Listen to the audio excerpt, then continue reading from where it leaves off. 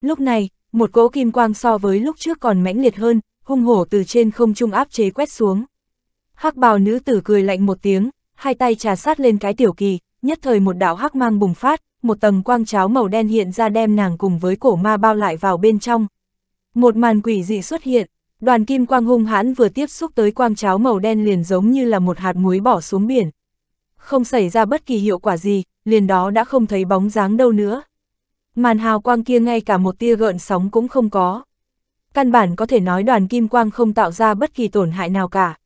hắc bào nữ tử ở bên trong quang cháo chỉ trong nháy mắt đã tiến vào cấm chế của cửu chân phục ma trận.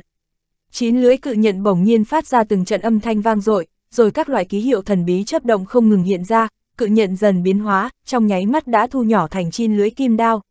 Chín lưới kim đao tuy kích thước thu nhỏ lại, nhưng phát ra linh quang chói mắt, tựa như trong không gian đột nhiên hiện ra chín vầng mặt trời chói mắt, khiến cho người ta không thể nào nhìn thẳng được.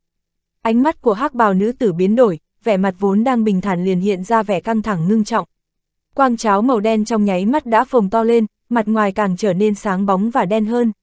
Đúng lúc này, chín khẩu kim đao dần dựng lên, mũi đao vừa chuyển rồi nhắm thẳng tới hắc bào nữ tử đánh tới. Mũi nhọn chợt lóe lên, tựa như chin sợi tơ vàng bắn ra, chợt lóe lên rồi biến mất. Cơ hồ ngay lúc đó, hắc phong kỳ biến thành màn hào quang chặn chín đoàn kim quang đó lại. Sau đó quang hoa bùng lên, kim quang chói mắt đem cái màn hắc mang đó bao vào bên trong. Điều kinh ngạc chính là, công kích hung hãn như vậy nhưng lại không gây ra bất kỳ tiếng động nào cả. Hết thảy đều diễn ra trong vô thanh vô tức, thật khiến cho người ta có cảm giác quỷ dị. Hàn Lập nhân cơ hội này liền liếc nhìn những người khác, thấy mọi người đều bị cảnh tượng trước mắt thu hút. Trên mặt hắn, một tia dị sắc chợt lóe, một tay như chớp khẽ động.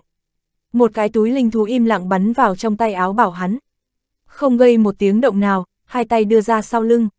Một đám kim hoa từ trong tay áo rơi xuống, vừa tiếp xúc mặt đất liền nhập vào trong đó không còn thấy dấu vết, vô ảnh vô tung biến mất. Chỉ trong nháy mắt chiếc túi có tới mấy ngàn con vệ kim trùng đã dung nhập hoàn toàn vào trong lòng đất không thấy bóng dáng. Trong nhất thời, không kẻ nào phát giác ra cả, thấy tình hình như vậy, trong lòng của Hàn Lập cũng khẽ buông lỏng. Mà vào lúc này, từ bên trong cửu chân phục ma trận, đột nhiên vang lên tiếng của hắc bào nữ tử thu. Một trận kim quang chợt lóe lên, ở trong đó hiện ra một cái động khẩu tối om rộng khoảng một trường. Cái động này vừa hiện ra thì toàn bộ kim quang giống như trăm sông đổ về biển, bị hút không thấy tăm hơi. Sau một tiếng động nhỏ, thì hắc động liền tán loạn biến mất. Lúc này xuất hiện trở lại là hắc bào nữ tử và thân hình của cổ ma.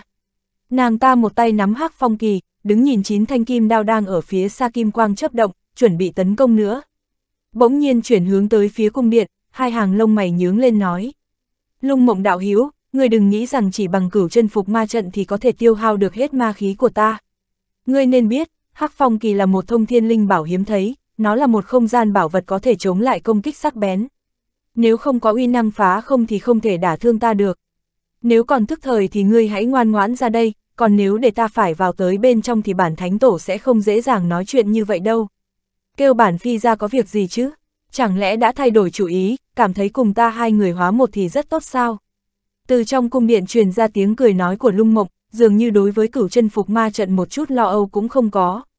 Không tồi, bản thánh tổ đích thật muốn cùng với nguyên thần của ngươi một lần nữa dung hợp làm một. Ngoài ý liệu của mọi người, hắc bào nữ tử thản nhiên trả lời. Ngươi nói cái gì, lão ma, nhà ngươi cho rằng ta là con nít ba tuổi chắc. Lung mộng hiển nhiên cũng ngẩn ra, rồi lập tức cười nhạt, ra vẻ không tin việc này xảy ra. Đương nhiên là không thể giống như lúc trước nguyên thần dung hợp, trước tiên phải để cho ta hạ chút cấm chế vào ngươi đã, để chắc rằng sau khi dung hợp thì nguyên thần của ta làm chính mới được. hắc bào nữ tử nhàn nhạt nói, đồng thời cầm hắc kỳ trong tay lay động nhẹ, dễ dàng huyễn hóa thành một cái hắc động thật lớn, đem kim ti do chín khẩu kim đao phát ra, dễ dàng nuốt lấy. Lúc này do ả tạm dừng chân không tiến tới nữa, nên cũng không có kích phát sự biến hóa của chín khẩu kim đao. Chắc ngươi đang nằm mơ rồi, phải không? Ta làm sao mà đáp ứng được chuyện hoang đường này chứ? Hiện tại ngươi đang muốn độc chiếm thân thể của ta, cần gì phải nói là dung hợp ở đây? Có mưu đồ gì thì cứ nói thẳng ra đi. Lung mộng kinh nghi nói thẳng ra. Mưu đồ, tự nhiên có một chút. Chúng ta đã vài lần dung hợp nguyên thần, ngươi hẳn cũng hiểu. Bất luận ta hay người nếu một mình chiếm cứ thân thể này, đều không thể phát huy được thần thông lớn nhất của nó. Nhưng sau khi dung hợp thì lại có thể tiến tới hóa thần kỳ tu sĩ và dễ dàng tiến vào thiên tượng huyền diệu. Cho nên ta và ngươi nếu không muốn sau này lại bị giới tu sĩ liên thủ phong ấn thì tiếp tục dung hợp nguyên thần lần nữa là cách tốt nhất. hắc bào nữ tử lạnh lùng nói, ha ha, không thể nào tưởng tượng được là đại thống lĩnh của cổ ma tung hoành nhân giới năm xưa lại đi sợ mấy tên hóa thần kỳ tu sĩ. Chuyện này thật sự là đáng cười đây, lung mộng trầm mặc một chút ra vẻ châm biếm nói. Năm đó thánh giới cùng nhân giới tương thông, thánh tộc chúng ta tùy thời đều có thể quay về để bổ sung hao tổn ma khí. Tự nhiên có thể tùy ý thi triển các loại đại thần thông, nhưng hiện giờ thông đạo đã bị phá hỏng. Hơn nữa hiện tại nhân giới thiên địa nguyên khí cũng đại biến, cho dù ta có thần thông cao thâm đi chăng nữa cũng chỉ có thể thi triển ra vài phần mà thôi. Vì vậy đối với hòa thần kỳ tu sĩ có một chút kiêng kỵ, thì cũng đâu có gì là kỳ quái chứ. Ngươi không phải cũng giống như ta sao? Đừng nghĩ rằng ngươi là hóa thần hậu kỳ linh giới yêu tộc, hiện tại cũng chỉ phát huy ra vài phần thần thông mà thôi. hắc bào nữ tử bất động thanh sắc nói ra, việc ngươi muốn chiếm nguyên thần của ta là chính, ngươi không cần phải ba hoa trích tròe làm chi, bản phi không đáp ứng việc này. Nếu không, cho dù có vẻ thoát khốn nhưng so với trước cũng có gì khác nhau đâu. Đừng tưởng ta không biết, quán chú ma khí vào hắc phong kỳ có thể làm cho ngươi tạm thời sử dụng được linh bảo này. Nhưng làm như vậy đi nữa thì cũng chỉ phát huy được non nửa uy lực của nó mà thôi. Ngươi có thể tiến vào cung điện này hay không thì còn phải xem đã. Muốn dung hợp nguyên thần cũng được thôi, nhưng phải lấy nguyên thần bản phi làm chính. Nếu không thì không cần bàn thêm nữa. Lung mộng quả quyết nói ra. hắc bào nữ tử nghe được lung mộng nói xong, trên mặt hiện lên một tia âm hiểm tàn nhẫn. Xem ra, người đối với cửu chân phục ma trận và bát linh xích rất có tự tin. Được, nếu như không đáp ứng thì cứ chờ sau khi bổn thánh tổ tự thân chế trụ được ngươi, sau đó sẽ rút ra nguyên thần tinh hồn làm cho ngươi tan thành mây khói. Làm như vậy hiệu quả kém một chút, nhưng cũng có thể tăng cao được thần thông của ta. hắc bào nữ tử âm trầm nói xong lời này, lại hướng tới Hàn Lập quét mắt ra một cái rồi bỗng nhiên quay đầu lại thấp giọng ra lệnh cho tên cổ ma vài câu. Ma vật hai đầu bốn tay liên tục gật đầu rồi thân hình chợt lóe lên, bắn thật nhanh về phía sau đi mất, trong nháy mắt liền thoát ra khỏi phạm vi của pháp trận, bay tới phụ cận của truyền tống trận màu đen, lẳng lặng trôi nổi bất động phía trên không. Một màn này hiện ra khiến cho đám người Hàn Lập ngẩn ra, trong lòng không khỏi mắng to. Xem ra, bọn họ yên lặng từ đầu, định kiếm cơ hội lẳng lặng rời đi, tự nhiên hiện đều thất bại cả. So với thanh niên họ từ cùng với yêu vật ngân xí dạ xoa thì Hàn Lập đã sớm chuẩn bị rồi. Nên trong lòng có chút an tâm, nhưng chỉ trong chốc lát sau đó hắn liền phát hiện ngân xí quỷ dạ xoa cùng với sư cầm thú thân thể đều mơ hồ huyễn hoặc, sau đó một cổ thanh quang xuất hiện rồi biến mất không còn dấu vết. Hàn Lập nhíu mày, ở một bên, thanh niên họ từ cùng với thiên lan thánh nữ môi không ngừng mấp máy, còn sắc mặt thì âm trầm không biết bọn họ đang nói việc gì nữa. Còn phía mấy tên tu sĩ của Diệp gia đang vây quanh nho si áo trắng thì lẳng lặng đứng đó không nói lời nào, cũng không có bất kỳ dị động nào khác. Hàn lập nhíu mày, ánh mắt dừng trên khuôn mặt đờ đẫn của nho sinh áo trắng, trong lòng cảm thấy có điểm không đúng, hơi cân nhắc một chút, trong mắt lam quang chấp động, thi triển ra thần thông minh thanh linh múc. Vừa nhìn xong, Hàn Lập liền phát hiện ra, nho sinh áo trắng của Diệp ra đó chỉ là một quang thể, chỉ là một linh khí ảo ảnh mà thôi. Trong lòng dùng mình, Hàn Lập liền hướng phụ cận xung quanh mình đảo qua, vẫn không thấy dị tượng gì, mới yên tâm dò xét các nơi tìm kiếm chân thân của vị Diệp gia đại trưởng lão này. Mà trong lúc này, hắc bào nữ tử do nguyên sát thánh tổ phân thần biến hóa thành, sau khi chặn tơ vàng do kim đao phát ra, đột nhiên tay cầm hắc phong kỳ mở ra, trực tiếp hướng không trung ném đi, hai tay bắt ấn niệm chú, trong miệng phát ra một chuỗi ngôn ngữ cổ quái. Sau một tiếng oanh, từ phía hắc phong kỳ bỗng nhiên hiện ra một đoàn hắc phong bay ra. Cơn gió này từ nhỏ hóa lớn, từ tinh biến thô, chỉ trong nháy mắt đã biến thành một cột lốc xoáy tựa như cây trụ trời, thật kinh người. Mà khi cơn lốc hiện hình, đồng thời có những tiếng sấm vàng ầm, ẩn hiện từng đoàn mây vàng với những tia điện xét ngang dọc, tùy thời đều có thể đánh xuống bất cứ lúc nào. Phía dưới đám mây vàng, xung quanh phụ cận của hắc sắc cử phong, những lưỡi đao gió như ẩn hiện, đang dần thành hình, cả không gian cát đá bay tứ tung, khắp nơi truyền đến những âm thanh ầm ầm cộng hưởng. Hàn lập cả người thanh quang chói mắt, sớm đã hiện lên một tầng phòng hộ dày đặc đem mình và Ngân Nguyệt bảo hộ vào bên trong. Nhưng hai mắt có thể thấy rõ ràng khắp nơi đều là quái phong màu vàng. Tầng phòng hộ bị va chạm kêu lên ong ong không ngừng, giống như là một con thuyền nhỏ giữa cơn gâu inh tố, trông thật là nhỏ bé. Hai môi hàn lập mím chặt, sắc mặt ngày càng tái nhợt đi. Hắc phong kỳ được nguyên sát thánh tổ điều khiển bắt đầu hiện ra uy lực đáng sợ của thông thiên linh bảo chương 1040, thoát thân. Hàn Lập rốt cuộc cũng biết thế nào là ác phong như đao, đất trời sụp đổ. Tuy mới chỉ là lân cận khu vực uy năng của hắc phong kỳ nhưng đã có cảm giác bản thân như mất đi ngũ quan, tai chỉ truyền đến tiếng gió vù vù, trong mắt toàn là một mảnh màu vàng. Thậm chí cả thần thức cũng không thể rời đi dù chỉ nửa bước, vừa mới rời khỏi vòng bảo hộ ra bên ngoài thì thần niệm đã bị ác phong thổi đi tan tác. Cuối cùng hắn cũng hiểu được cái gì là tam diễm phiến không thể so cùng thất diễm phiến, thông thiên linh bảo bài danh cuối bảng. Tam diễm phiến mới chỉ phát huy được 3-4 thành, so với uy năng của hắc phong kỳ này, cơ bản khác nhau một trời một vực. Cũng may là thần thông minh thanh linh mục vẫn dùng được, đem linh lực rót vào hai mắt từ trong đồng tử lam mang lóe ra, cuối cùng có thể mơ hồ thấy được đồ vật trong phạm vi 10 trượng. Còn về phần cửu chân phục ma trận ở phía xa nằm trong ác phong hung mãnh sẽ biến thành thế nào, hắn trong nhất thời không thể biết được. Nhưng từ từng đợt chấn động nơi mặt đất truyền đến, có thể thấy được cuộc chiến diễn ra kịch liệt như thế nào. Ngẩn đầu nhìn lên trời, không trung vẫn không thay đổi. Tất cả đều bị cuồng phong quật mạnh giống như là một đám hỗn độn, không biết phải chạy đi đâu nữa. Hàn lập thần sắc trầm trọng, bên ngoài vòng bảo hộ âm thanh vù vù ngày càng lớn, để duy trì vòng phòng hộ này, tiêu hao pháp lực so với trước rõ ràng lớn hơn nhiều. Hắc phong kỳ vẫn không ngừng tăng cường trên không trung, hít một hơi, hắn theo bản năng nhìn xuống chân một cái, tựa hồ chui xuống đất trốn đi cũng không phải là một ý tồi. Còn phía bên cạnh, cách tầng phòng hộ của hắn một trượng có một đạo phong trụ màu đen từ phí trên trời thoát xuống, nhanh chóng cuồng trướng to dần lên. Nhất thời một lực hút to lớn truyền đến, màn hào quang màu xanh dường như không tự chủ được, dần rời về phía hướng phong trụ.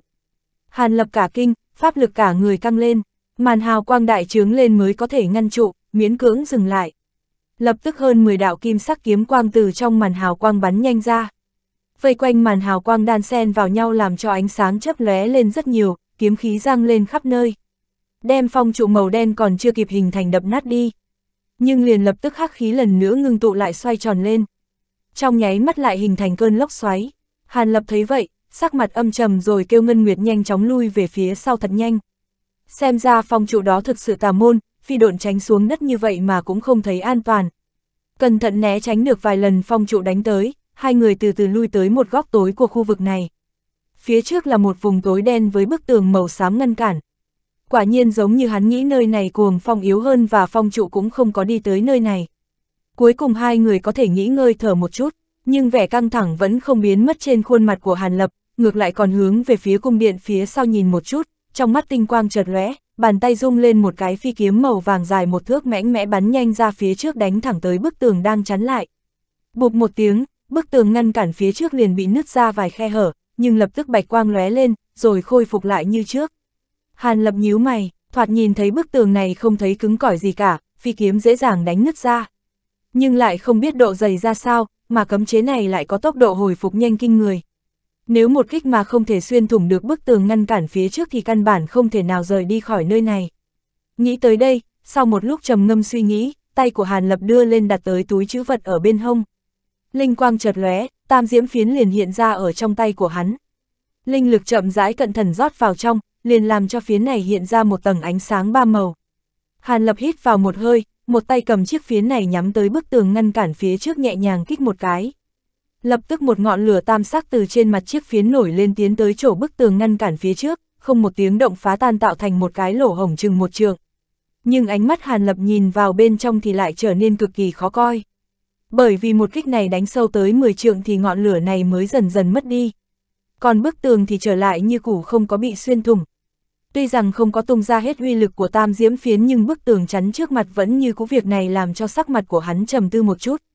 Tam diễn phiến mặc dù uy lực không nhỏ, nhưng một kích vừa rồi không có hiệu quả, cho dù làm lại tăng thêm chút uy năng, có thể hay không phá được cấm chế do thượng cổ tu sĩ bố trí, hắn thật sự không dám quá tin tưởng. Dù sao nơi này cũng là nơi phong ấn lung mông yêu phi và cổ ma thánh tổ hóa thân. Hơn nữa nếu tung ra toàn bộ uy lực của tam diễm phiến thì sẽ tạo chấn động không nhỏ, một kích này sẽ làm cho cổ ma thánh tổ chú ý đến. Đến lúc đó mà bức tường ngăn cản không bị phá vỡ, thì giống như tự lấy lửa đốt mình rồi. Huống hồ trong lòng hắn còn hoài nghi, tầng ngăn cản thành có thể có điều quỷ dị, cẩn thận còn có liên hoàn cấm chế trong đó. Lỡ như phá hủy được bức tường ngăn cản này nhưng lại dẫn động một tầng cấm chế phản vệ khác thì quả không phải là chuyện tình nói chơi được. Trong lòng nghĩ như thế, bàn tay của Hàn Lập nắm chặt lấy tam diễm phiến, sắc mặt âm trầm bất định hiện ra. Không gian nơi này không chỉ đơn giản như vậy, chủ nhân không nên mạo muội vọng động thì tốt hơn. Sau khi nhìn thấy lung mộng thì Ngân Nguyệt có chút hoảng hốt, đột nhiên mở miệng nói ra. Hàn Lập nghe vậy cười cười, đang muốn nói chuyện gì đó với nàng thì bỗng nhiên sắc mặt trầm xuống, xoay đầu một cái nhìn tới phía trước mặt lạnh lùng nói. Ai, ở nơi này làm gì, nếu lén lén lút lút như vậy thì đừng trách ta sao không khách khí. Nói xong lời này, hắn liền đem tam diễm phiến trong tay hướng ra phía trước. Lưu chuyển trên không vài cái. Hàn đạo hữu xin hãy dừng tay, tại hạ cũng biết được uy lực bảo phiến của ngươi, không cần phải vô duyên vô cớ xuất kích. Một thanh âm của nam tử từ từ truyền đến, rồi từ bên trong cuồng phong màu vàng hiện ra hai đạo nhân ảnh, một nam một nữ. Thì ra đó chính là thanh niên họ từ và thiên lan thánh nữ Lâm Ngân Bình. Đuôi lông mày của Hàn Lập khẽ nở ra, trên mặt lộ vẻ ngạc nhiên, nhưng trên miệng vẫn không chút thay đổi, âm thanh vẫn lạnh lùng phát ra. Ồ, hai vị đến đây chẳng lẽ muốn nhân cơ hội này cùng với Hàn mỗ động thủ hay sao? Nói xong lời này, hắn làm như vô ý nhìn tới hướng cung điện liếc mắt ngó một cái. Phía đó vẫn còn cuồng phong mãnh liệt, hơn phần nữa màu đen phong trụ đều tụ tập ở đó, không che giấu được tiếng gió lộng truyền đến, ẩn chứa hai đạo kim quang chói mắt, như thể trong nháy mắt sẽ hủy diệt cả tầng không gian này vậy. Xem ra cửu chân phục ma trận uy lực cũng không nhỏ, đối với hắc phong kỳ uy lực như vậy mà vẫn kiên trì cho đến giờ. Cũng không biết bát linh xích kia có tham gia vào trận chiến này không nữa. Trong lòng Hàn Lập tự cân nhắc, thấy hắc bào nữ tử tạm không thể phân tâm được thì trong lòng liền cảm thấy an tâm. Lúc này nhìn tới hướng hai người nam nữ kia với ánh mắt không vui không buồn. Đạo hữu không cần phải như thế, hiện tại hai ta tìm đến Hàn Huynh không phải là để tìm phiền toái mà là muốn cùng nhau thương lượng một việc. Lâm Ngân Bình dường như biết được địch ý của Hàn Lập liền đưa tay thả ra một cái cách âm kết giới, rồi bình tĩnh nói ra. Tìm cách thoát thân sao? Trong lòng Hàn Lập vừa động, còn miệng thì không chút cảm tình hỏi lại. Hàn đạo hữu làm sao không biết, hắc phong kỳ của cổ ma thánh tổ kia lợi hại như vậy, mấy người chúng ta dù có liên thủ thì cũng không phải là đối thủ của hắn. Vậy sao không thừa dịp tên cổ ma này đang bị yêu phi linh giới kia cuốn lấy mà rời đi khỏi trốn nguy hiểm này? Chẳng lẽ lại ngồi đợi ma đầu này thu thập được trận này rồi thong dong quay lại thu thập bọn ta hay sao chứ? Do thời gian không còn nhiều nữa, nàng ta cũng không chút khách khí nói thẳng vào việc. Ồ, chẳng lẽ nhị vị lại không muốn có được thông thiên linh bảo này? Hai mắt hàn lập nhíu lại nhàn nhạt nói ra, đạo hữu thật biết nói đùa, linh bảo tất nhiên chân quý, nhưng làm sao có thể so sánh với tính mạng của mình được chứ? Tên cổ ma này đã bị nhốt trong trong tháp này nhiều năm như vậy trong cơ thể chắc chắn chân nguyên thiếu hụt. Mà nguyên anh của chúng ta cũng đã phương thuốc để khôi phục nguyên khí tốt nhất. Một khi hắn đã rảnh tay thì sẽ quay sang đối phó với chúng ta ngay. Thanh niên họ từ dường như đối với cổ ma này cũng biết chút ít nên quả quyết nói ra. Vậy ngươi tính toán thế nào? Hàn Lập dường như đã hiểu được ý của đối phương nhưng vẫn làm bộ hỏi tới. Tất nhiên là chúng ta sẽ liên thủ đánh lén tên cổ ma đang canh giữ truyền tống trận rồi sau đó sẽ cướp đường mà chạy đi. Thanh niên họ từ không chút do dự nói thẳng ra, chỉ bằng vào mấy người chúng ta, các ngươi thực sự biết được sự lợi hại của tên cổ ma này sao? Hàn Lập cười lạnh một tiếng rồi hỏi lại một câu, sao vậy, chẳng lẽ mấy người chúng ta thế này lại không thể hạ được tên cổ ma đó sao? Lâm Ngân Bình có chút không hiểu, khẽ cười một tiếng hỏi. Các ngươi nếu như biết được là trước đây tên cổ ma này đã từng cùng với ba vị đại tu sĩ và hơn 10 vị nguyên anh kỳ khác vây công đánh mà vẫn có thể thoát thân chạy thoát được. Không biết các ngươi có còn tự tin như vậy không? Hàn lập một tay vuốt ve cái quạt lông chậm rãi nói. Chả lẽ chính là tên cổ ma theo các người từ thiên nam chạy ra năm đó sao? Thanh niên họ từ bổng nhiên cả kinh nói. Không sai, chính là hắn. Thấy Hàn Lập khẳng định như thế, vị đại tiên sư của mộ lan cùng với Lâm Ngân Bình ở bên cạnh nhìn nhau liếc mắt một cái trên mặt cùng hiện ra vẻ do dự. Nếu như giờ có thêm hai người bọn ta gia nhập thì thế nào? Chẳng lẽ bao nhiêu người chúng ta như vậy lại không bước lui được tên cổ ma này hay sao? Từ phía trên đầu mấy người này truyền đến một âm thanh băng hàn, làm cho đám người hàn lập sắc mặt đại biến, từ không trung hoàng phụng, thanh tử hai đạo quang mang chợt lóe lên, liền hiện ra hai tên yêu thú ngân xí quỷ giả xoa và sư cầm thú. Cả hai tên yêu thú này trên người linh quang vần quanh, trên không trung không bị ảnh hưởng gì hết từ ác phong, huyền phù ở phía trên an nhiên bất động. Xem ra ngân xí quỷ dạ xoa phong độn thần thông thật là quỷ dị, ở trong hoàn cảnh ác liệt này lại như cá gặp nước vậy. Là các ngươi, nhị vị cũng muốn cùng nhau liên thủ sao? Thấy rõ ràng nhị yêu, Hàn Lập một lần nữa chấn định lại.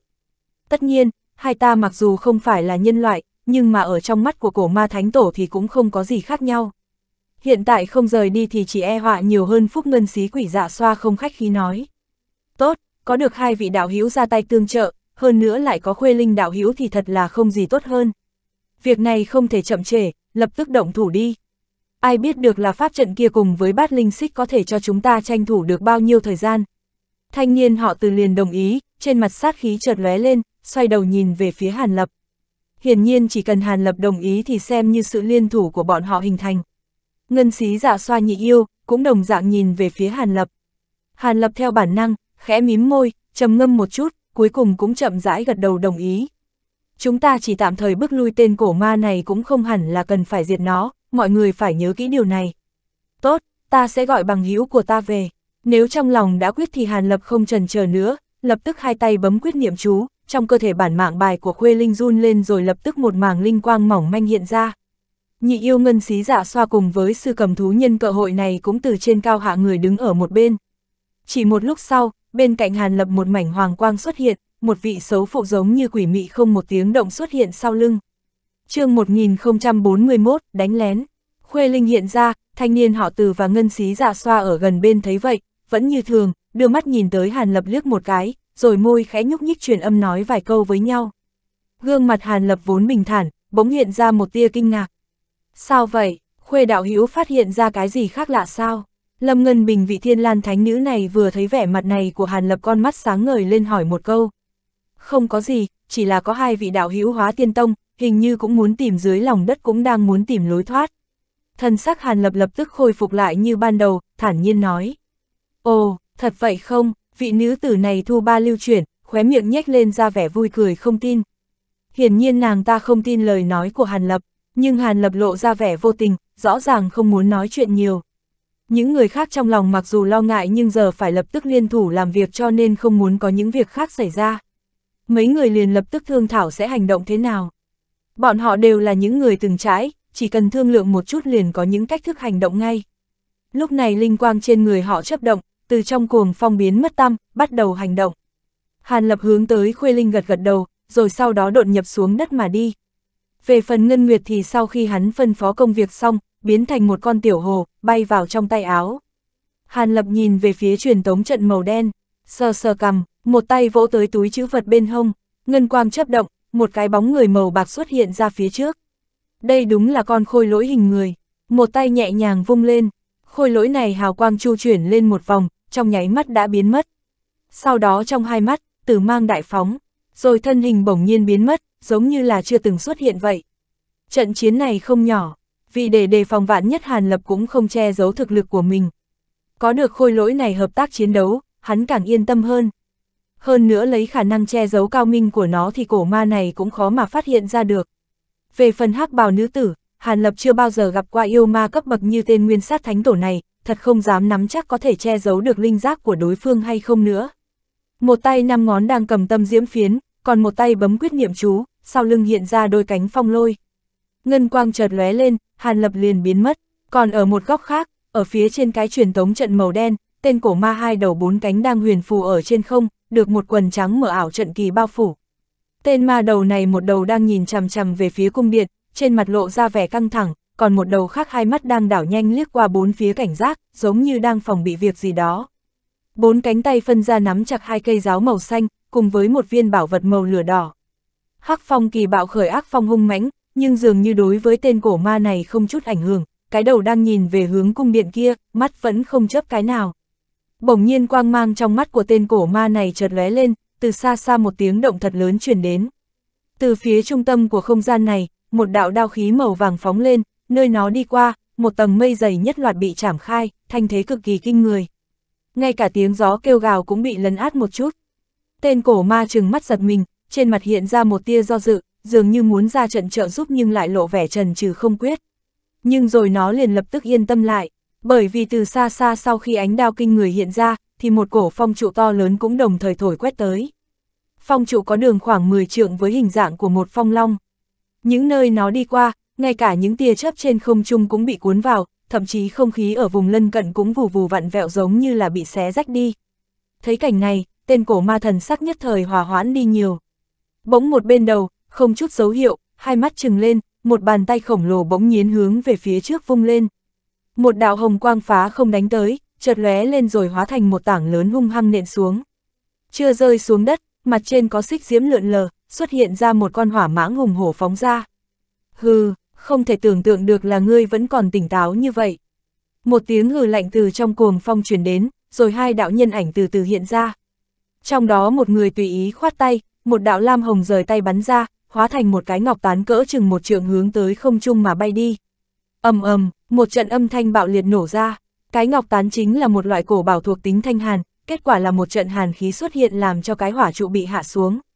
Lam quang, xích diễm hai cái bảo vật này kích động không ngừng. Mấy con hỏa mãng mặc dù không ngừng hung hãn cắn xé. Nhưng bởi vì là do tương khắc thuộc tính nên căn bản không làm gì được đến cái ngọc tán này. Hai cái thân ảnh kia đứng tại chỗ bất động, lạnh lùng nhìn tên cổ ma ở trên không, thì ra chính là thanh niên họ từ và Lâm Ngân Bình. Tên cổ ma hai đầu to lớn này vừa động, bốn mắt đồng thời hướng nhìn về phía đôi nam nữ này. Ta nhận ra các ngươi chính là thiên lan thảo nguyên tu sĩ. Thế nào, giờ các ngươi muốn rời khỏi đây sao? Đáng tiếc là đã quá muộn. Một cái đầu nhe răng cười một cái, phát ra âm thanh như sấm nổ. Thanh niên họ từ nghe vậy sát khí nổi trên mặt, không nói lời nào, đưa tay vỗ vào linh thú túi ở bên hông. Lúc này một tiếng phượng gáy truyền tới, từ trong ánh sáng mở chấp động, xuất hiện một con ngũ sắc khổng tước bay ra, vươn cánh bay lượn trên đỉnh đầu vị thanh niên này. Không cần phải nói thêm nữa, đây chính là ngũ sắc khổng tước, nơi nó đi qua, ác phong liền dừng lại, lập tức sóng êm bể lặng. Một màn này, tất cả đều lọt vào mắt cổ ma.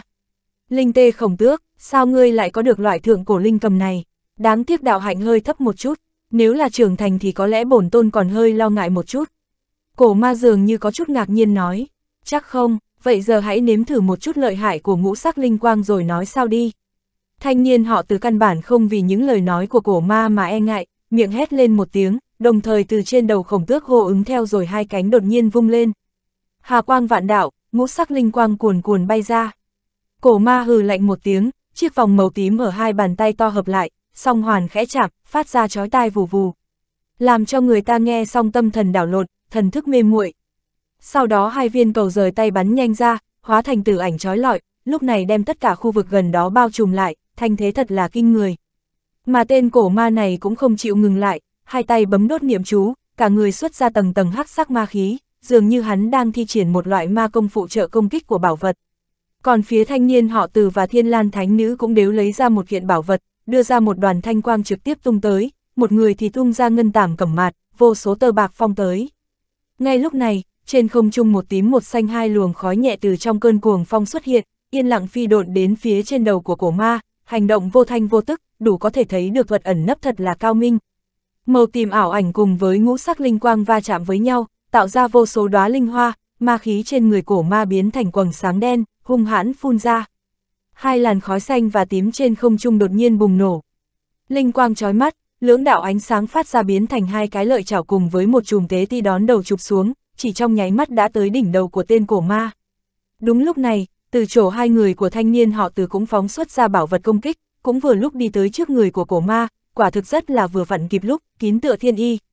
Tự nhiên có người đánh lén tới gần như thế liền làm cho tên cổ ma cả kinh.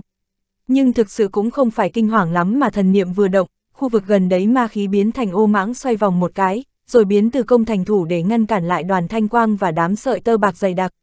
Cùng lúc hai cái đầu cùng vươn lên, một cái phun ra ma diễm đen kịch còn cái kia thì phun ra một đạo ô mang nhọn hoắc. Nhưng ngoài dự liệu, ngay khi cổ ma đang bị đòn đánh lén từ trên đỉnh đầu thu hút, thì dưới chân nó, một trận kỳ màu xám bày ra, kim quang trọt lóe lên, một cái cự kiếm phát ra như tiếng sét đánh từ phía dưới nhanh chóng bắn ra, hướng thẳng không trung mà chém tới. Tốc độ cực nhanh, dường như ngay lúc cổ ma còn đang kinh ngạc thì cự kiếm đã tới trước mặt. Trên thân kiếm là một lửa màu tím và tia sét màu vàng hiện ra, nhất thời làm cho cổ ma nhận ra rõ ràng. Là ngươi, trong giây lát cổ ma này liền nhận biết ngay được chủ nhân của nó, không khỏi kinh hãi quát to một tiếng. Nhưng bởi vì cự kiếm tiến tới quá nhanh, mà hắn lại còn bị các loại khác công kích đánh tới, thực sự là đã vào đường cùng, chỉ có thể dung bốn tay vội vàng vung lên. Suy suy, vài tiếng xé gió truyền đến, hơn 10 ngọn chảo như tạo thành một chiếc lưới chụp xuống cự kiếm. Do lâm vào tình cảnh như vậy cho nên hắn không thể toàn lực chống đỡ phi kiếm này. Kết quả trong nháy mắt, cụ kiếm đã xuyên thủng qua lưới này, sau đó chợt lóe lên chém thẳng về phía cổ ma. Chỉ trong giây lát trì hoãn, ngay khi khi cự kiếm chém tới, từ thân thể cổ ma bỗng phun ra một tầng quang cháo màu đen. Oanh, một tiếng nổ lớn, một quầng sáng lớn hiện ra từ thân thể cổ ma, bên trong hào quang chói mắt khiến không ai có thể nhìn rõ được. Trên mặt đất, tia chớp bạc chợt lóe, Hàn Lập thi triển lôi độn từ phía dưới hiện ra, ngẩng đầu nhìn phía không trung, nhướng mày. Hắn cảm ứng được rất rõ ràng là vừa rồi cự kiếm không thực sự chém được cổ ma mà tựa như bị cái gì đó đẩy trượt qua một bên.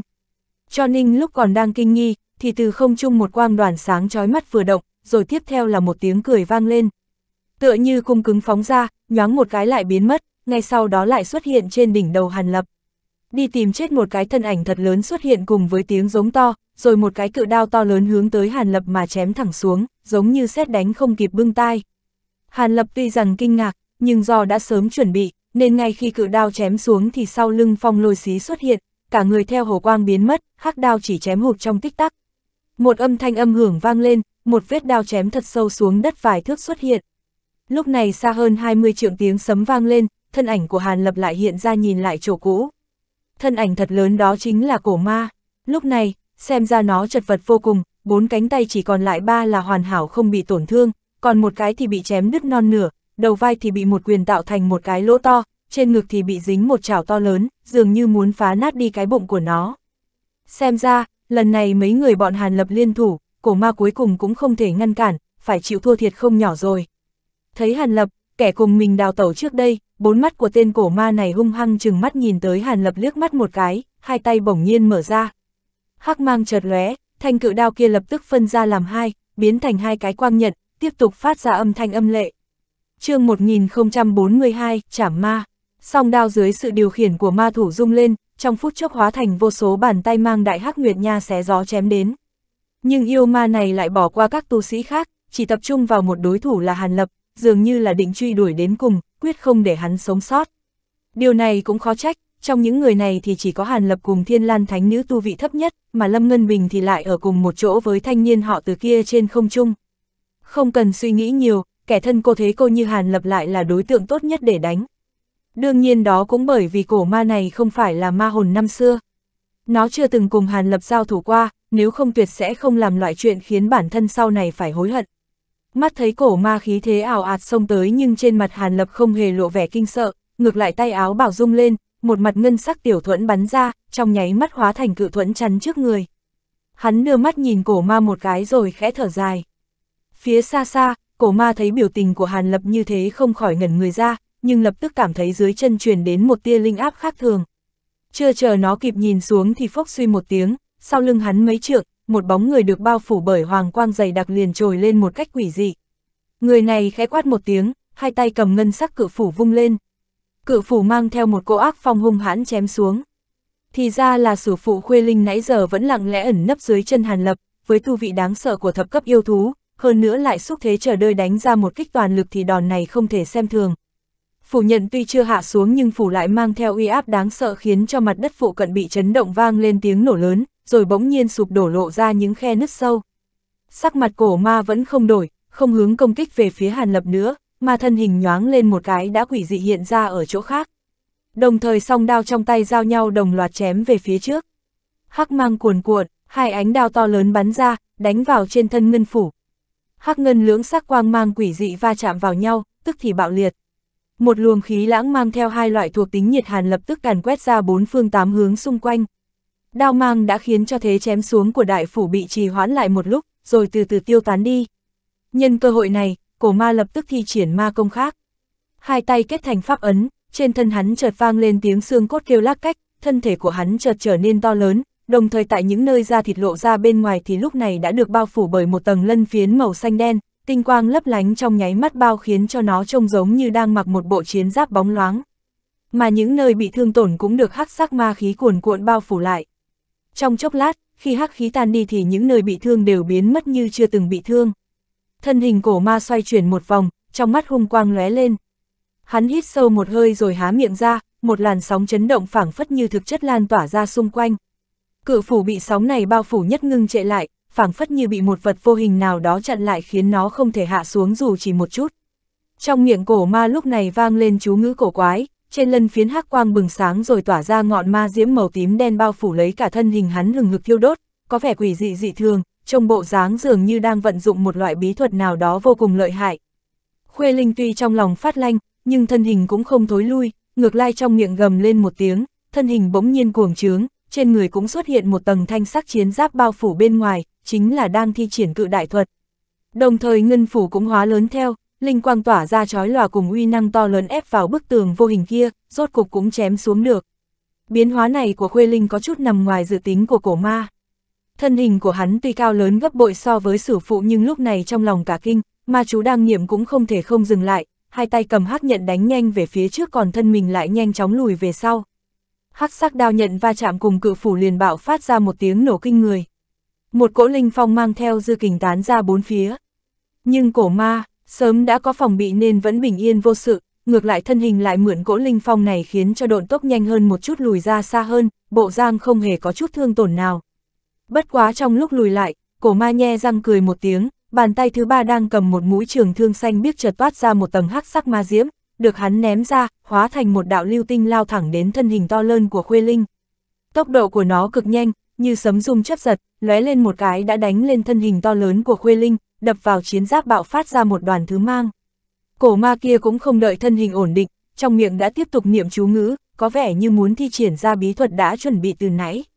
Xem ra hắn cũng không cho rằng một kích vừa rồi thực sự có thể giết được một con thập cấp yêu thú. Nhưng vào lúc này, dị biến lại xuất hiện, phía sau cổ ma mấy trượng, một luồng hắc quang mỏng manh chợt lóe lên, một đạo phi đao đen như mực mỏng như cánh ve bỗng xuất hiện, vô thành vô tức, lập tức hắc tuyến chợt lóe, phi đao chợt lóe lên rồi quỷ dị biến mất không thấy đâu nữa. Cùng lúc đó, linh giác đáng sợ của cổ ma cảm thấy có điểm không ổn, thân hình lập tức chuyển động, lập tức bắn ra xa. Nhưng trong một sát na, đầu cổ ma dường như bị vật gì đó như một mũi tiêm chùy đâm trúng, thần thức đột nhiên cảm thấy đau đớn vô cùng. Cho dù ma thần thức rất cường đại, nhưng gặp phải loại công kích này thì cũng không thể tránh khỏi thân hình có chút trì trệ. Trong giây lát thân hình bị trì hoãn, trên cổ của cổ ma đã xuất hiện một đường máu mờ nhạt, không hề có dấu hiệu gì liền rơi xuống, máu tươi từ trong cổ phụt ra cao đến vài thước. Đến giờ phút này, Hàn Lập phía xa mới buông lỏng hai tay đang kết một pháp ấn kỳ lạ, thần sắc tỏ ra rất mệt mỏi. Vừa rồi thần thức của cổ ma bị trúng một kích, chính là do kinh thần thứ trong đại diễn quyết mà hắn tham ngộ được. Hơn nữa hắn đã nghiên cứu cải biến qua một chút thành một loại công kích thần thức đơn giản hơn để bản thân sử dụng. Do chưa thể tu luyện đại diễn quyết đến tận cùng nên uy lực của loại công kích này còn xa mới có thể bì được với uy lực chân chính của kinh thần thứ. Nhưng nếu trong lúc suốt bất kỳ ý đột nhiên đánh ra, thì chỉ cần đối phương không đề phòng, cho dù là ai chúng phải chiêu này cũng sẽ bị ảnh hưởng rất lớn. Cho nên loại bí thuật này được hắn đặt tên là thất thần thứ, khác với nguyên gốc kinh thần thứ. Chẳng qua, thủ đoạn công kích thần thức loại này, cho dù bi hắn cố ý cải biến làm uy lực giảm xuống, nhưng sau khi xuất ra một kích cũng khiến thần thức hắn mê muội một lúc, thật sự khó có khả năng thi triển được một kích thứ hai. Đầu còn lại của cổ ma trợn tròn hai mắt, tựa hồ còn chưa tin vào sự thực trước mắt, nhưng ngay lập tức hét lên một tiếng kinh nộ, trên người chợt xuất ra vô số ma khí đem toàn thân bao phủ lấy. Ma khí vừa tỏa xung quanh, đã lập tức che phủ lấy cổ ma không thấy bóng dáng đâu nữa. Ngay sau đó, tại một nơi cách đó ba bốn trượng, không gian lại có một trận dị động. Lập tức xuất hiện một cỗ hắc khí quỷ dị, cổ ma đang bị thương từ trong ma khí bước ra. Xem ra dù bị mất một đầu, mặc dù không thể thật sự diệt sát cổ ma nhưng cũng khiến cho hắn thụ trọng thương. Lúc cự phủ trong tay Khuê Linh đánh xuống, cổ ma mới bị mất đầu đang thụ trọng thương liền thi triển độn thuật, động tác nhanh như điện quang hỏa thạch, sự việc chỉ diễn ra trong chớp mắt. Phía trên, thanh niên họ từ cùng ngân xí giả dạ xoa cũng trợn mắt há mồm. Điều này cùng với điều bọn họ thương lượng lúc đầu không quá giống nhau. Kế hoạch ban đầu của họ là liên thủ đánh ra một kích khiến cho cổ ma kinh sợ mà theo truyền tống trận ở gần đó mà rút lui. Về việc kích này có khiến cho cổ ma thụ thương hay không thì cũng không phải là điều bọn họ quan tâm. Nhưng hiện tại, cổ ma bị bức phải lùi lại. Hàn Lập tuy rằng lúc đầu cũng thực hiện giống như kế hoạch đã bàn với họ, cùng với Khuê Linh liên thủ đánh lén cổ ma, nhưng sao sự việc lại biến hóa thành ra như thế này? Bộ dáng Hàn Lập như muốn liều mạng đánh nhau sống chết với cổ ma. Mà khẩu phi đao kia lại quỷ dị xuất hiện ở phía sau cổ ma. Bản thân họ ở trên cao quan sát nhưng cũng không phát hiện ra sự xuất hiện của bảo vật này. Nếu như nó xuất hiện phía sau lưng bọn họ, liệu bọn họ có khả năng phát hiện ra không? Ý niệm này dù chỉ thoáng qua trong đầu cũng khiến cho thanh niên họ từ cùng ngân xí dạ xoa đều cảm thấy ớn lạnh trong lòng, sắc mặt liền thay đổi. Chẳng qua cũng phải nói rằng cổ ma cũng thật là xui xẻo. Nhiều đối thủ cấp bậc đại tu sĩ như vậy liên tiếp vây công, khiến nó căn bản ngay cả cơ hội thở dốc cũng không có, một thân thần thông kinh người căn bản là chưa kịp thi thố thì đã bị thương nặng lúc nào không hay. Nếu như để nó thật sự thi triển được ma công kinh người của mình, thì cho dù Hàn Lập cùng đám người này liên thủ lại, muốn làm nó bị thương nặng cũng không phải là việc dễ dàng gì. Cho nên khi cổ ma vừa mới hiện ra, chiếc đầu còn lại đã quay lại, dùng ánh mắt cực kỳ oán độc nhìn Hàn Lập một cái, rồi hắc khí lập tức cuồn cuộn tỏa ra, lập tức hướng về phía nữ nhân áo đen mà chạy. Nó với tình hình của mình lúc này, thì khó có khả năng đấu lại đám người Hàn Lập, hơn nữa nó cũng không có ý đánh bừa. Nhưng ánh mắt Hàn Lập nhìn về phía cổ ma lúc này lại lộ ra biểu tình châm chọc. Một đoàn ngân quang ở kế bên cạnh cổ ma chợt phát nổ, tiếp đó một bóng người quỷ dị xuất hiện. Cổ ma trong lòng chấn động, tựa như chim sợ cành cong, vội vàng đưa toàn thân vào trạng thái đề phòng, ma khí cuồn cuộn tỏa ra bao phủ lấy toàn thân, sau đó mới nhìn ra xung quanh. Kết quả tiếp xúc với ánh mắt của đối phương, lại bỗng nhiên cảm thấy một trận thiên toàn địa chuyển, trong đầu nó lúc này ngoại trừ hai luồng tử quang yêu dị ra, không còn cảm thấy bất kỳ điều gì khác nữa. Thần thức của cổ ma vô cùng cường đại, cho dù là tu sĩ Nguyên Anh hậu kỳ cũng khó thể so sánh được, cho nên dù là huyễn quang tinh từng khiến cản lão ma phải kinh sợ, cũng chỉ khiến cổ ma bị thất thần trong phút chốc, rồi lập tức tỉnh táo lại. Nhưng chỉ cần một chút thất thần này, một mũi nhọn ẩn trong tiếng sấm bỗng nhiên đánh tới ma khí phía trước, trong đó lóe lên vài tia kim hồ khiến cho sắc mặt cổ ma mới thanh tỉnh lại trở nên cực kỳ khó coi. Ích tà thần lôi, cổ ma cả kinh, ngay lập tức nhận ra lai lịch của kim hồ, thứ đã khiến cho không ít thượng cổ yêu ma năm đó ăn đau khổ. Nếu như chưa bị thương, hắn còn có biện pháp thúc giục bí thuật ngăn cản một phần. Nhưng lúc này, trong lòng hắn cực kỳ không muốn trực tiếp đón đỡ thứ này, nếu không e rằng nguyên khí lại bị tổn thương nhiều hơn. Bàn tay cổ ma vung nhẹ lên, nhất thời trước ngực hắn hiện ra một cái hắc sắc tiểu thuẫn trực tiếp nghênh đón lục mang kia mà chống đỡ. Mà bản thân hắn cũng lập tức lùi ra xa, nháy mắt đã ngoài mấy trượng. Ngay khi cổ ma vừa dừng lại, chưa kịp ổn định thân hình, thì đột nhiên sau lưng đã vang lên tiếng sấm. Bất hảo, cổ ma lập tức cảm thấy dùng mình, nhưng không hắn kịp hành động gì, cùng với một đạo ngân hồ, Hàn Lập chuyển động hai cánh đã xuất hiện phía sau lưng cổ ma, hai tay áo rung lên, một con tử sắc hỏa dao cùng 10 thanh kim sắc tiểu kiếm bắn nhanh về phía cổ ma. Hàn Lập nắm bắt thời cơ xuất chiêu vô cùng xảo diệu, cổ ma muốn tránh căn bản là không thể kịp nữa rồi. Bị ép tới đường cùng, cái đầu duy nhất còn lại của cổ ma bỗng nhiên xoay ngược 180 độ, nhìn thẳng một cách quỷ dị về phía Hàn Lập, sau đó há miệng ra, một làn sóng chấn động màu đen bị kích động nhanh chóng tỏa thành vòng sóng lan ra xung quanh, mà hai cánh tay của hắn cũng không biết tự lúc nào đã xuất hiện hai thanh hắc nhật, vung lên đón đỡ công kích của Hàn Lập. Nhưng cổ ma tuyệt đối không nghĩ tới ngay khi đầu hắn vừa mới chuyển động, một dao động nhỏ giống như lúc trước lại xuất hiện, khẩu phi đao màu đen đã từng chém dụng một đầu của nó lại quỷ dị xuất hiện, rồi lại chợt lóe lên, biến mất không thấy đâu nữa chương 1043, thu hồi bảo vật. Lúc này, tâm trí cổ ma đang bị sự xuất hiện của Hàn Lập ở phía sau thu hút, khi đạo phi đao xuất hiện trở lại, thì phản ứng của hắn so với lần trước chậm hơn nhiều. Tốc độ của phi đao này thật vô cùng quỷ dị, đến khi cổ ma mặt biến sắc, muốn tránh đi thì đã quá muộn. Một màn lặp lại, lại là ở trên cổ của cổ ma, một đường máu xuất hiện, đầu của cổ ma phút chốc rơi từ trên thân xuống. Hàn Lập thấy thế trong lòng vô cùng mừng rỡ, nhưng không chờ hắn kịp nở một nụ cười, thân thể không đầu của cổ ma hai tay vẫn cầm chặt song đao, vẫn không ngả xuống, ngược lại còn vung song đao lên, rồi hóa thành hai luồng hắc mang bắn nhanh về phía Hàn Lập, mang theo cuồng phong dữ dội, ma thể không đầu hóa thành một cỗ ma khí đậm đặc điên cuồng tỏa ra. Hàn Lập tuy cả kinh nhưng không vì thế mà lùi bước để con mồi có cơ hội trốn thoát. Không chần chừ, hai tay nhanh chóng kết thành pháp quyết, một con tử sắc hỏa dao nhanh chóng xuất hiện rồi bùng phát. Tử sắc hỏa diễm nhanh chóng lan ra hơn 10 trượng xung quanh, tựa như mưa bay đầy trời. Mà hơn 10 thanh kim sắc tiểu kiếm đan sen mật thiết vào nhau đồng thời chế trụ hai thanh hắc nhận rồi khiến chúng tiêu tán đi. Ngay sau đó lưới kiếm tản ra, từng đạo kim sắc điện hồ bắn ra dệt thành một kim võng thật lớn mang theo tử diễm chụp xuống bên dưới. Xoẹt một tiếng động lớn vang lên, hơn một nửa ma khí vừa chạy được chưa xa đã bị một khối băng màu tím chặn lại, rồi nhanh chóng khiến cho ma khí bị phong hóa đóng băng lại. Còn số hắc khí còn lại đụng phải một lưới điện vàng rực rỡ ở phía trên, một tiếng sét vang lên, khiến cho hắc khí liền bị tiêu tán. Hàn Lập thấy vậy, nhưng hai tay vẫn không hề buông lơi, miệng nhẹ thốt lên một chữ bảo. Kim võng kia liền tan ra, rồi lại tụ thành một luồng hồ quang rực rỡ giáng xuống tảng băng màu tím kia. Nhất thời cả tảng băng đều tan ra ra thành nước, mà hắc khí đang ẩn tàng vô số ma tinh trong băng kia cũng bị đánh cho tan tác, không còn gì. Tất cả những kiện bảo vật trong ma khí cũng đồng loạt rơi xuống. Hàn Lập vừa thấy hai kiện đang bị hắc ti bao bọc lại, thì hai mắt sáng ngời lên. Hai đạo kim hồ lập tức từ trên ngón tay hắn bắn ra, lập tức khiến cho hắc ti tan thành mây khói.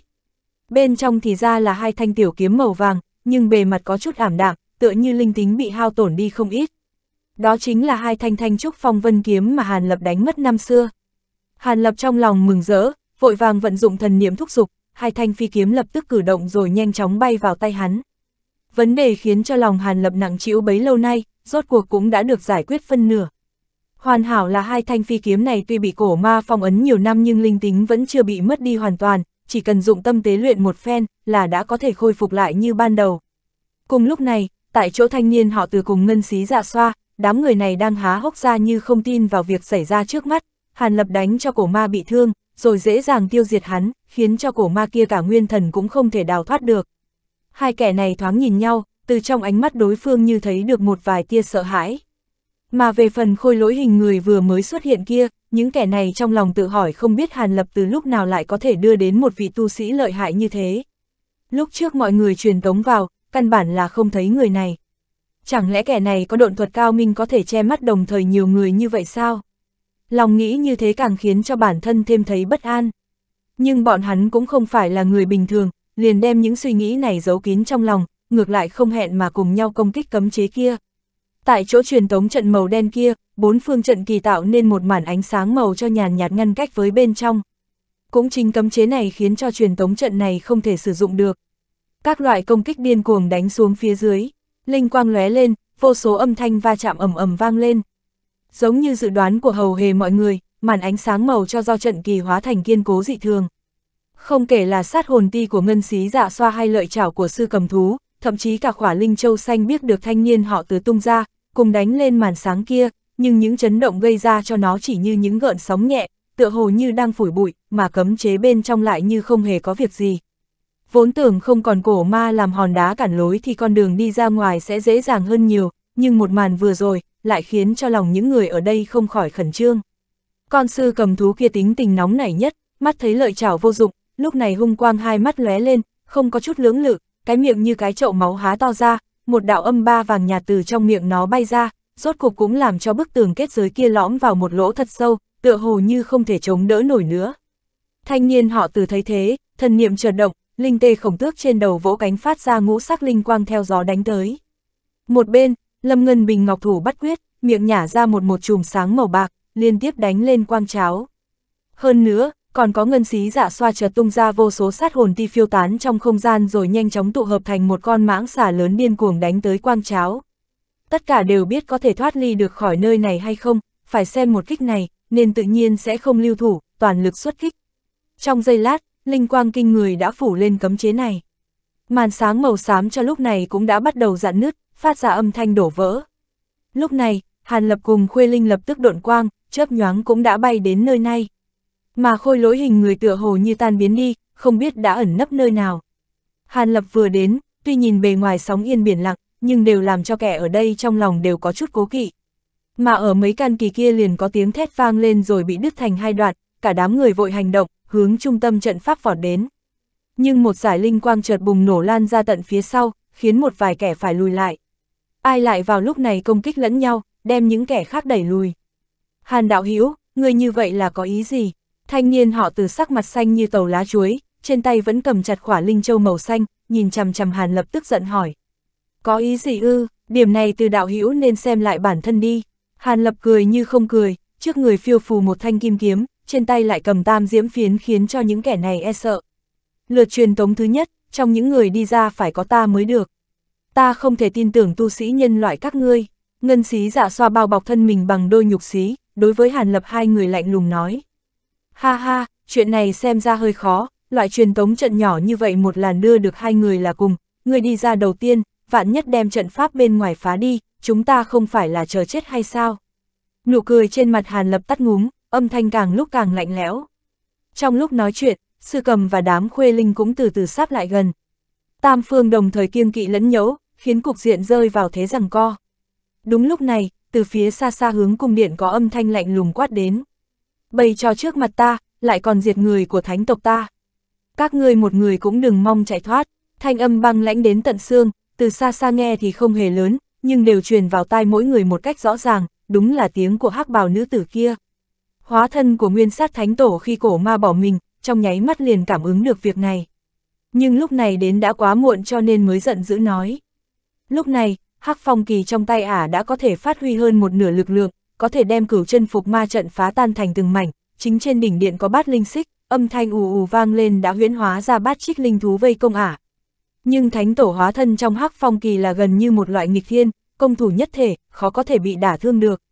Dự tính ban đầu của ả là đầu tiên giải quyết phục ma đại trận, sau đó ra tay hàng phục bát linh xích kia, nhưng kết quả hiện tại là thủ hạ duy nhất của mình lại vô cớ bỏ mình, nhất thời khiến vị thánh tổ này động sát ý. Hắc bào nữ tử sắc mặt trầm lặng như mặt hồ, lại liên tiếp phun ra mấy ngụm máu lên ngọn tiểu kỳ, mười ngón tay kết thành một đạo pháp quyết đánh ra. Tiểu kỳ liền tỏa ra ô mang chói lòa, thân hình chợt hóa to ra hơn 10 trượng trở thành một lá cờ rất lớn, trên mặt cờ còn lưu chuyển những văn tự màu tím kỳ lạ, đồng thời hắc khí lưu chuyển trên mặt không ngừng.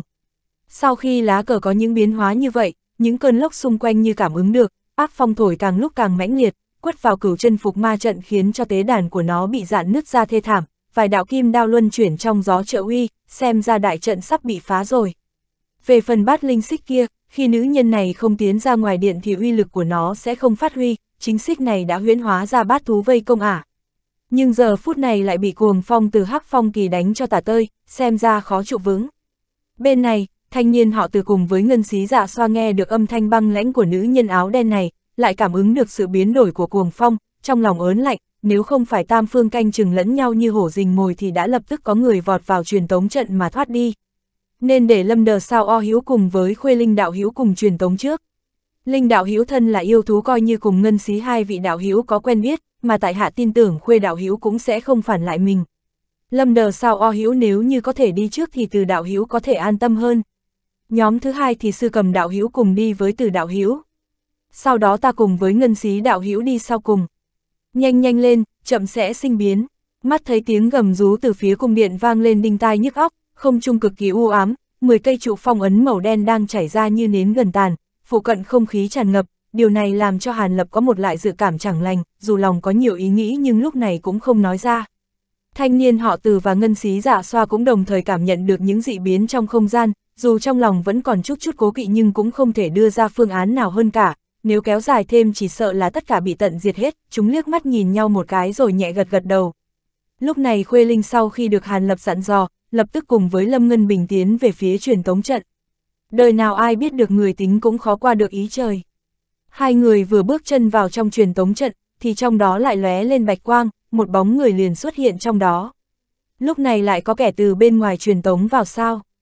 Việc này khiến cho cả bọn Hàn Lập sướng sờ. Đúng lúc này, từ phía trung tâm truyền đến giọng nói băng lãnh của nữ nhân áo đen kia.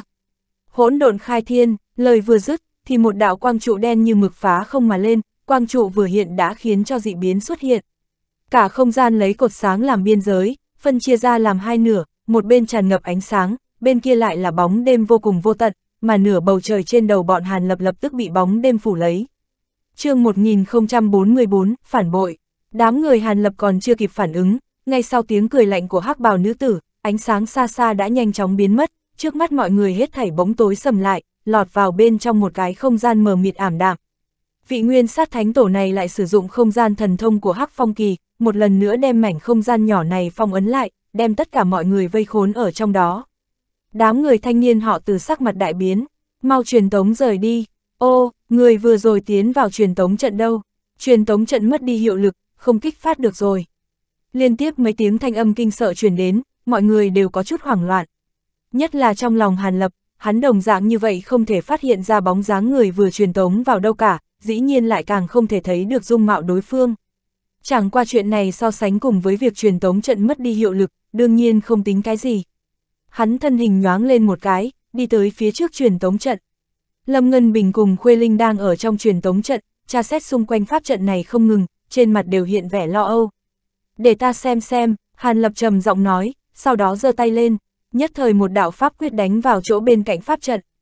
Kết quả chỉ thấy linh quang yếu ớt chợt lóe, một chút phản ứng cũng không có.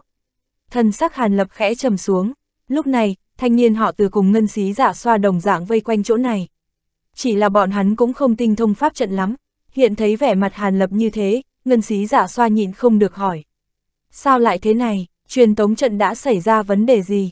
Truyền tống trận không có vấn đề, nhưng lại bị không gian chi lực của Hắc Phong Kỳ phong trụ.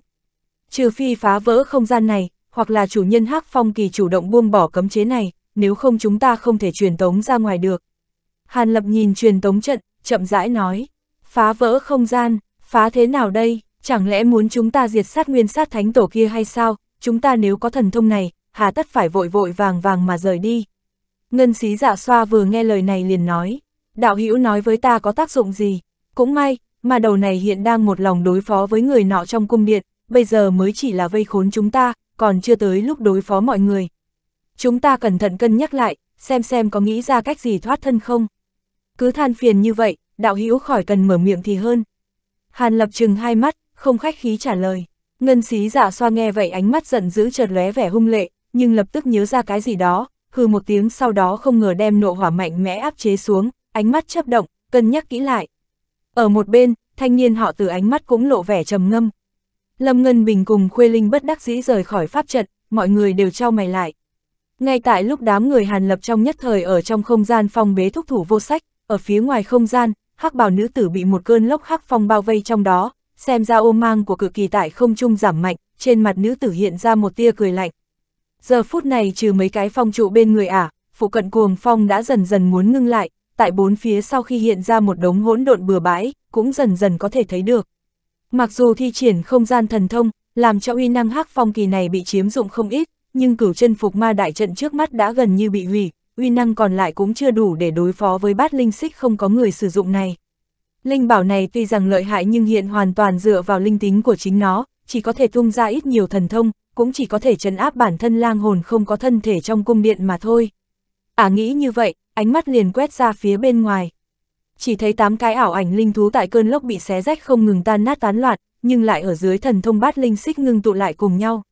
Tuy rằng chúng nó không thể tấn công bên trong cơn lốc, nhưng ả cũng không muốn dễ dàng đi ra khỏi sự bảo hộ của cơn lốc. hắc bào nữ tử mặt không chút thay đổi đem ánh mắt xoay chuyển, đột nhiên nhìn người nào đó phía trên cung điện. Vị quái nhân đầu to kia từ lúc đấu pháp tới nay, luôn luôn đứng ở phụ cận không có rời đi, cũng không dám có hành động nào khác. Vừa rồi dưới ác phong của hắc phong kỳ mặc dù hung mãnh, nhưng là chỗ trung tâm cung điện cũng là nơi an toàn bình yên vô sự, chỗ này hiện tại hoàn hảo không tổn hao gì. Hắc bào nữ tử ánh mắt quang mang kỳ dị chợt lóe, trong miệng truyền ra thanh âm dễ nghe. Diệp đạo hiếu, người đem bát linh xích kia mang tới cho bản thánh tổ. Yên tâm, có ta để ý, sẽ không để cho lung mộng đạo hiếu ra tay đối với ngươi.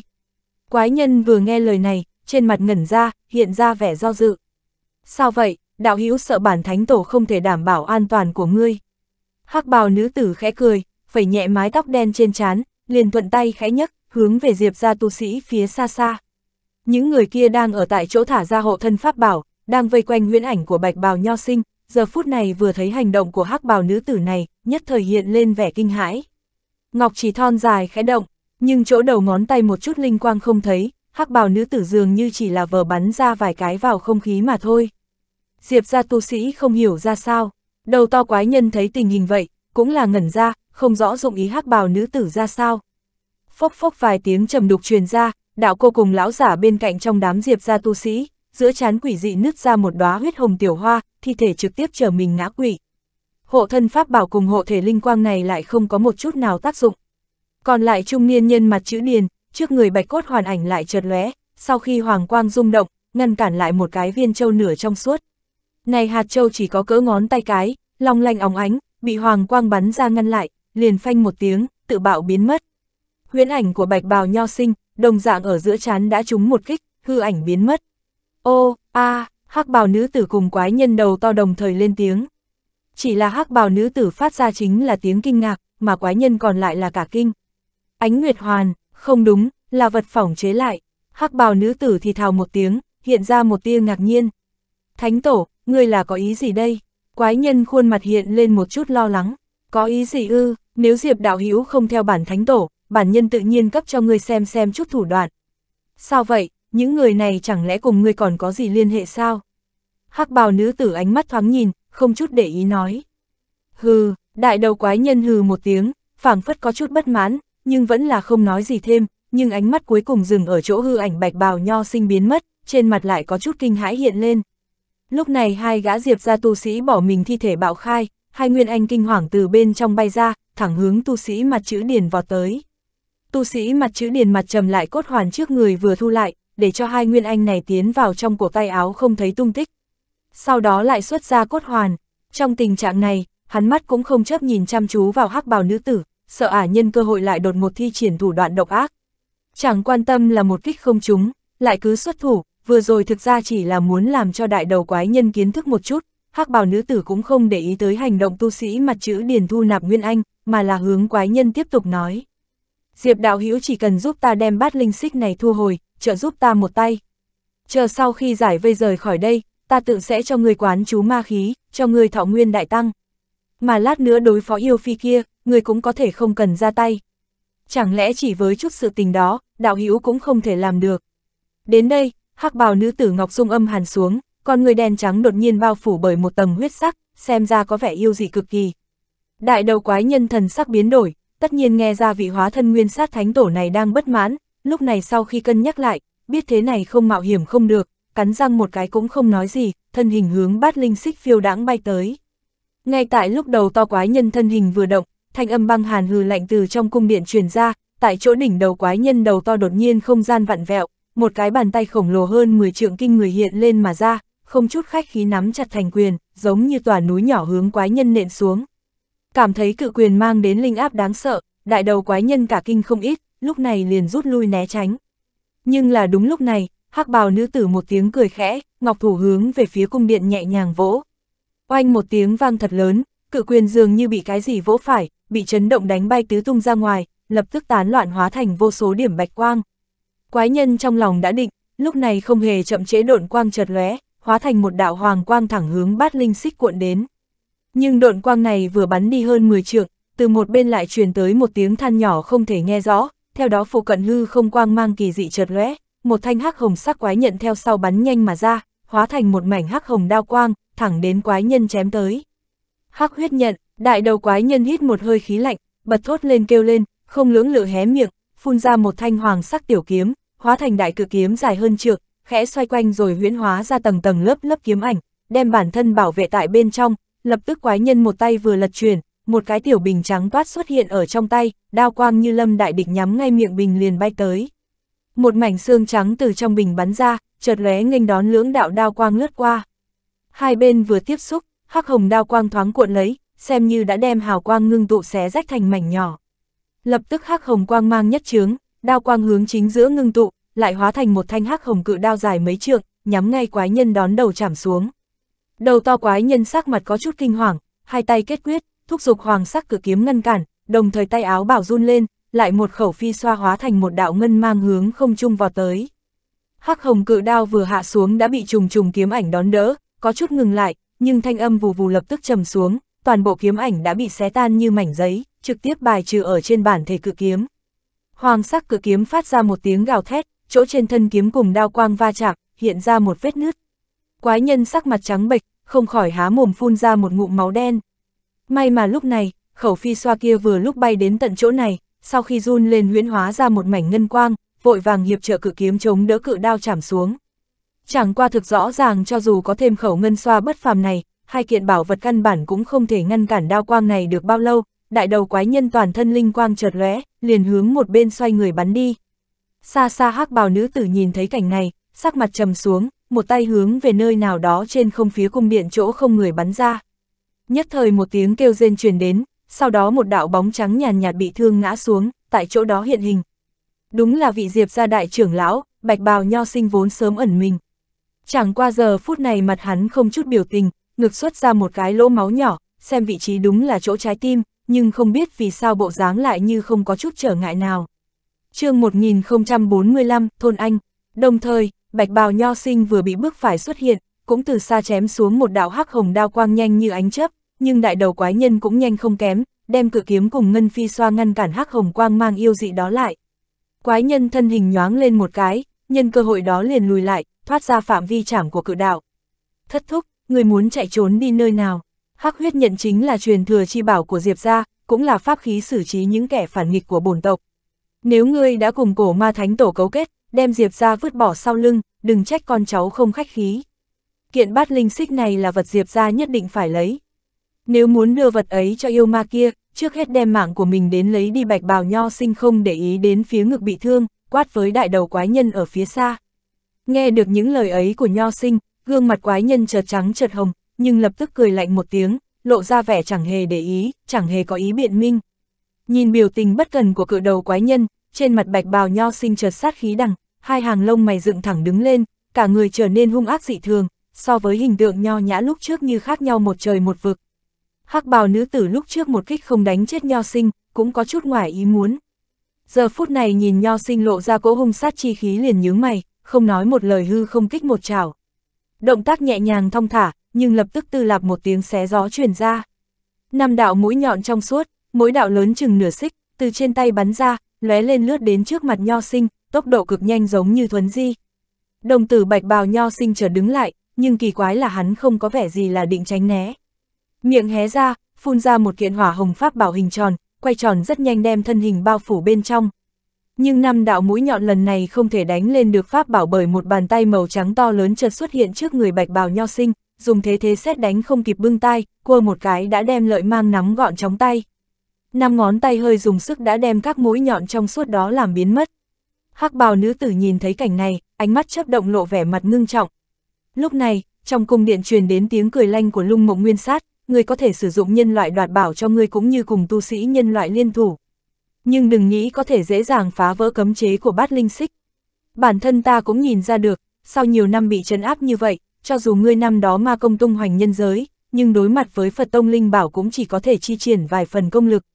Thậm chí nếu ngươi có thể may mắn phá vỡ cấm chế của bát linh xích, vây không thỏa thuận của ngươi với bản phi, mượn ngoại lực hấp thụ một ít ma khí để lại có thể một lần nữa phân ra. hắc bào nữ tử nghe được lời này, khẽ biến sắc, sóng mắt chợt lạnh lùng, nhưng trong miệng nhàn nhạt nói mặc kệ còn có nhiều ít ma khí, bản thánh tổ vẫn nắm chắc trả cho ngươi một cái tàn hồn không có thân thể. Huống chi nơi này có nhiều linh đan rượu dược như vậy, ta sao lại sợ hao tổn một chút ma khí. Linh đan rượu dược, lão ma ngươi tưởng, lung mộng mới nói ra được một chút, lập tức nhớ ra cái gì đó, thanh âm tức thì biến đổi. Nhưng không chờ nàng nói hết lời, hắc bào nữ tử quỷ dị cười một tiếng, bàn tay hướng về hắc phong kỳ ở trên không nhẹ nhàng búng một cái. Nhất thời một đạo pháp quyết màu xanh biếc bắn ra, đánh lên phía trên kiện linh bảo rồi ẩn vào trong. Nguyên bản lá cờ đen thui to lớn đang bất động nhất thời run lên, mũi lá cờ trầm xuống, hắc mang trên mặt bùng lên, một đạo ô hắc quang trụ liền bắn ra. Đạo quang trụ này chợt lóe lên rồi biến mất, vừa ly khai ra khỏi hắc phong kỳ liền tiêu thất trong hư không, ngay sau đó lại xuất hiện ở ngay trước mặt tu sĩ có gương mặt chữ điển đang đứng ở xa, sau đó nổ tung. Nhiều điểm hắc sắc linh quang bắn ra bốn phía, nháy mắt một đạo ô hắc phong trụ tại chỗ đó phóng lên cao, bất ngờ quấn tu sĩ mặt chữ điền vào trong đó. Trong phong trụ nổi lên tiếng rít thê lương, hiện ra vô số hắc sắc phong nhận quỷ dị, kịch liệt xoay tròn, phảng phất như ngàn vạn lưỡi dao sắc hướng vào trung tâm cắt tới. Tu sĩ mặt chữ điền kinh hãi, vội vàng đem linh lực toàn thân điên cuồng rót vào bên trong cốt hoàn. Cốt hoàn chờ tái sinh huyễn ảnh, một tầng hoàng mang chói mắt tạo thành một quang cháo, đem tu sĩ nọ bảo hộ nghiêm mật. Nhưng hắc phong nhận quả thực quá dày đặc, hơn nữa tựa hồ còn ẩn chứa thần thông đặc thù nào đó. Mỗi một đạo phong nhận chảm lên quang trảo toàn bộ đều chợt lóe lên rồi không thấy bóng dáng, cũng không thấy bạo liệt phát sinh. Nhưng chỉ một lát sau, bề mặt quang tráo lại quỷ dị hiện ra dày đặc vô số lỗ thủng to bằng bàn tay, sau đó tiêu thất như thể không tồn tại. Dưới công kích quỷ dị như vậy, hoàng quang biến thành quang trảo tuy kiên cố, nhưng trong phút chốc cũng thất linh bát lạc. Sau đó trong ánh mắt khó tin của tu sĩ mặt chữ điền, cơn lốc màu đen đột nhiên tăng tốc xoay chuyển kịch liệt, vô số hắc mang đang chấp động trên bề mặt quang cháo chợt bạo liệt, cốt hoàn lập tức vỡ thành nhiều mảnh. Tu sĩ mặt chữ điền mặt cắt không còn giọt máu, lập tức cắn răng, há miệng phun ra một khẩu thanh sắc phi kiếm, sau đó gầm nhẹ một tinh, nhân kiếm hợp nhất, hóa thành một đạo thanh hồng bắn nhanh tới, rõ ràng muốn bỏ di thiên trạc đã bị hủy hoại lại để tẩu thoát. Xem ra hắn biết rõ, tiếp tục lưu lại chỉ còn con đường chết mà thôi, cũng chỉ biết thử liều mạng một lần. Không nên, Bạch bào nho sinh thấy hành động này của tu sĩ mặt chữ điền thì sắc mặt đại biến vội vàng thét lớn. Nhưng đã muộn, đạo thanh hồng nọ vừa tiến vào trong hắc phong, thanh quang liền chấp động liên hồi. Lập tức truyền đến một tiếng kêu thê lương thảm thiết, cả đạo thanh hồng lẫn thân thể đều vỡ vụn, tu sĩ mặt chữ điền lập tức bị loạn nhận phân thây. Trong tiếng gió rít, từ đám thân thể vỡ vụn lập tức bắn ra ba quang đoàn màu sắc khác nhau, ba cái nguyên anh đồng thời thoát ra, lập tức chọn một phương hướng bay vụt chạy đi. Đó chẳng những có nguyên anh của tu sĩ mặt chữ điền mà còn cả nguyên anh của hai gã tu sĩ diệp ra được hắn thu lại lúc trước, giờ cũng buộc phải bỏ chạy. Nhưng khắp bốn phía đều là phong nhận dày đặc, bọn họ căn bản không có đường trốn thoát, vừa bay ra được một đoạn ngắn, đã bị phong nhận vây lại một chỗ, mắt thường cũng có thể thấy ắt sẽ bị cắt thành vô số mảnh. Đột nhiên trong cơn lốc hắc quang chợt lóe, tất cả phong nhận đều đột một biến mất. Ba nguyên anh đầu tiên là sửng sốt, nhưng lập tức mừng rỡ, hộ thể linh quang chấp động, một lần nữa vụt chạy đào thoát. Thấy vậy, hắc bào nữ tử khóe miệng lộ một tia châm biếm, năm ngón tay hơi cong, hư không hướng về cụ phong đánh một chảo. Nhất thời, bốn phía xung quanh các nguyên anh bạch quang chợt lóe, thân hình lập tức ngừng lại, tay chân không thể mảy may nhúc nhích. Cùng lúc đó, trong cơn lốc hiện lên vô số điểm hắc quang tụ lại trên thân các nguyên anh, đem vây chúng vào trong tạo thành ba khỏa hắc sắc quang cầu. Lúc này, hắc bào nữ tử hai tay bắt lại, trong miệng phát ra chú ngữ huyền ảo cổ quái. Hắc mang chợt lóe, ba khỏa hắc sắc quang cầu trong cơn lốc đột nhiên biến mất vô tung vô ảnh. Nhưng ngay sau đó, trước người hắc bào nữ tử chợt phát sáng, ba khỏa hắc sắc quang cầu từ hư không quỷ dị hiện ra, thì ra đã bị nguyên sát thánh tổ thi triển đại thần thông kéo đến trước mặt. Yêu ma muốn làm cái gì, mau dừng tay. Bạch bào nho sinh thấy vậy khẩn trương la lên, vội hướng hắc huyết nhận đang phiêu phù ở bên cạnh điểm chỉ một cái, lập tức hào quang đại phóng bay đến chém xuống hỏng cứu viện. Muộn rồi, lung mộng thở dài, nói, vừa dứt lời, hai mắt xinh đẹp dị thường của hắc bào nữ tử huyết sắc chợt lóe, đôi môi đỏ mọng bỗng hé ra, phun ra một phiến huyết hà đem quang cầu đang nhốt ba Nguyên Anh bao lại. Nguyên Anh lộ ra thần tình hoảng sợ, thân hình trong màn hà quang nhanh chóng thu nhỏ lại, trong nháy mắt hóa thành chỉ nhỏ cỡ đầu ngón tay, bị hà quang bao lấy, rồi bị hắc bào nữ tử trực tiếp hấp vào trong miệng, sau đó nuốt vào bụng. Hành động này mô tả có vẻ phức tạp nhưng hắc bào nữ tử chỉ hoàn thành trong một hơi thở, xem ra thuần thục dị thường. Ngay cả bạch bào nho sinh bình thường ít lộ vẻ hỉ nộ hiện sắc mặt cũng xanh mét. Mà thanh hắc huyết nhận giờ phút này linh quang đại phóng, chính là đang rung lên nhẹ nhẹ. Một lát sau, cuối cùng vị diệp gia đại trưởng lão mới áp chế được nỗi kinh sợ trong lòng, hồi phục lại sự ổn định của hắc huyết nhận. Lung mộng tiền bối sao vậy? Vì sao không cứu tu sĩ diệp gia ta? Lấy thần thông của tiền bối ắt là có thể làm được. Hay việc nói liên thủ lúc trước chỉ là hư ngôn? Nho sinh lớn tiếng nói. Hừ, ta vì cái gì phải cứu? Tên kia chỉ là tu sĩ Nguyên Anh Trung Kỳ mà thôi. Mặc dù trong tay có một phỏng chế linh bảo nhưng uy lực thấp đến đáng thương, ngay cả một phần mười thành cũng không đạt đến. Ta linh lực hữu hạn, cứu một kẻ vô dụng làm gì? Hơn nữa đừng lầm lẫn, bản phi không phải là cùng Diệp ra hợp tác mà chỉ là cùng ngươi liên thủ một lần. Lung mộng thanh âm lạnh lùng trả lời, cho dù là như thế, ngươi không sợ ma đầu này cắn nuốt nguyên anh hồi phục nguyên khí sao? Nho sinh sắc mặt vẫn đang rất khó xem, ngươi có biết cái gì? Cắn nuốt nguyên anh cố nhiên có thể cho lão ma pháp lực tạm thời tăng lên một ít, nhưng làm như vậy hậu quả là hắn cần phải dùng ma khí mạnh mẽ luyện hóa nguyên anh trong thời gian ngắn, ngược lại lại làm cho ma khí tiêu hao quá nhiều. Xem ra hắn chuẩn bị sử dụng thần thông ngân lang yêu thể của ta, cho nên không tiếc đại tổn hao ma khí. Ta không có nói sai đâu, nguyên sát, lung mộng thanh âm lành lạnh nói, nhưng câu sau cùng lại hướng về hắc bào nữ tử. Không tồi, ta căn bản cũng không có ý giấu giếm ngươi. Chính là thân thể của ngươi quá lợi hại, ta không cần nói ngươi cũng biết. Nguyên lúc đầu ta còn muốn bảo tồn một chút pháp lực, chỉ dùng hắc phong kỳ phá vỡ bát linh xích cấm chế. Nhưng hiện giờ ta cảm thấy làm như vậy rất mất thời gian. Chậm quá ắt sinh biến, bản thánh tổ chính là liều mạng tổn hao ma khí dựa vào yêu lang thân thể hóa thần kỳ hậu kỳ mau chóng tiêu diệt hết các ngươi hắc bào nữ tử không chút che giấu, nói. Lập tức nàng thở nhẹ một hơi, hai tay bắt pháp quyết niệm thần chú, cả thân thể được một đoàn ngân quang bao lại, hào quang chói mắt, như mặt trời cháy rực khiến cho người vô pháp nhìn thẳng. Trong ngân quang, một tiếng sói chu vang vọng cửu tiêu truyền ra, một cỗ linh áp cường đại dị thường đột nhiên buông xuống. Toàn bộ không gian tại đây đều bị linh áp cường đại này quấy nhiễu, thanh âm vù vù phát ra, đại địa run rẩy kịch liệt, xuất hiện nhiều cái khe lớn nhỏ. Ngân quang đang có rút đột một bành trướng gấp mấy chục lần. Sau đó quang hoa chợt tắt, phảng phát hiện hình một con ngân lang hai đầu to như quả núi. Một đầu màu bạc, một đầu màu đen, hai con mắt màu bạc nhắm nghiền, đầu hơi cúi xuống, cái đầu màu đen thì ngửa lên nhe răng trợn mắt. Nhìn lợi chảo chân trước của cự lang giống như một thanh cự nhận bén nhọn, hai đầu to như tòa lào cát, lại còn kèm theo linh áp cường đại khó tin, vô luận bạch bào nho sinh vẫn còn đối lập với đầu quái nhân đến đâu, cũng không khỏi hít một ngụm lượng khí, hai mắt không chấp nhìn chăm chú vào quái vật. chương 1046, huyết nhận tái hiện. Trong lúc hắc bào nữ tử hiền lỗ ngân lang yêu thể thì bọn bốn người hàn lập, Khuê Linh đang chậm rãi vây quanh một bóng người toát ra hồng quang nhàn nhạt, Bốn người nhìn chằm chằm bóng người này, thần sắc rất là không tốt. Ngân sĩ quỷ giả xoa cùng sư cầm thú đứng ở xa nhìn cảnh này không có ý nhúng tay vào. Các vị đạo hiếu, đây là ý gì? Vì sao bao vây ta? Tại hạ chưa có đắc tội gì với các vị hồng quan nhân ảnh lộ ra là một lão giả, hình dáng hỏa ái dễ gần, hai mắt xoay chuyển, chính thị là vị tứ tán chân nhân. Các hạ nếu truyền tống đến, vì sao phải lén lút lẩn trốn? Nếu không phải trong lòng có ý quỷ thì ắt có kế hoạch nham hiểm. Thanh niên họ từ mặt không đổi sắc nói, đạo hữu thật sự nói đùa, tại hạ vừa đến đã thấy rất nhiều cao nhân xuất hiện trước mặt. Địch ta chưa phân biệt, tự nhiên phải lấy cẩn thận làm đầu.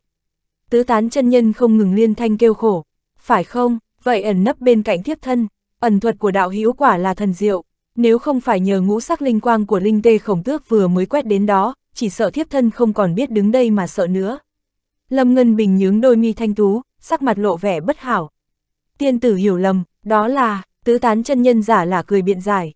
Nhưng lúc này, Hàn Lập âm thanh lạnh lùng nói khi tiến vào chấn ma tháp, các hạ dùng bảo vật xuất thủ ám toán ta. Lúc đó người bỏ chạy cực nhanh nhưng đã bị ta thấy một phần bóng dáng. Hơn nữa thậm chí cả chuyện bính huyết nhận đang bị phong ấn đột nhiên khởi động. Ngoài ra còn cổ hung thần huyết khí vẫn theo trên người ngươi ẩn ẩn lộ ra dọc theo đường đi. Cỗ huyết khí này át hẳn ngươi đã thôn vệ không ít tu sĩ Nguyên Anh.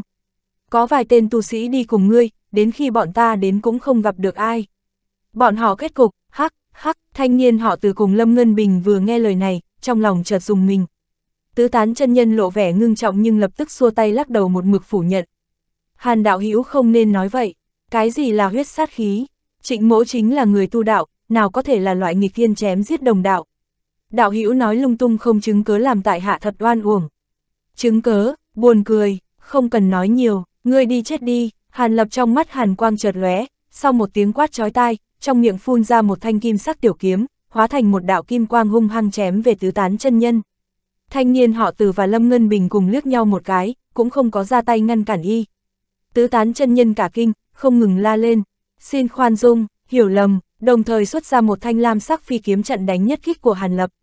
Hai thanh phi kiếm nhất thời đan vào nhau giữa không trung, linh quang chấp động không ngừng bạo liệt.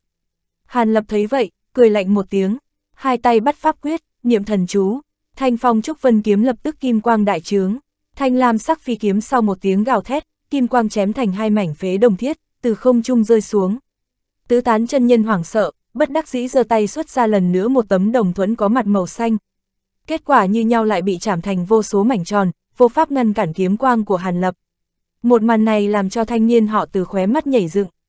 Phi kiếm này ắt hẳn được chế tạo từ loại tài liệu hiếm có trên thế gian.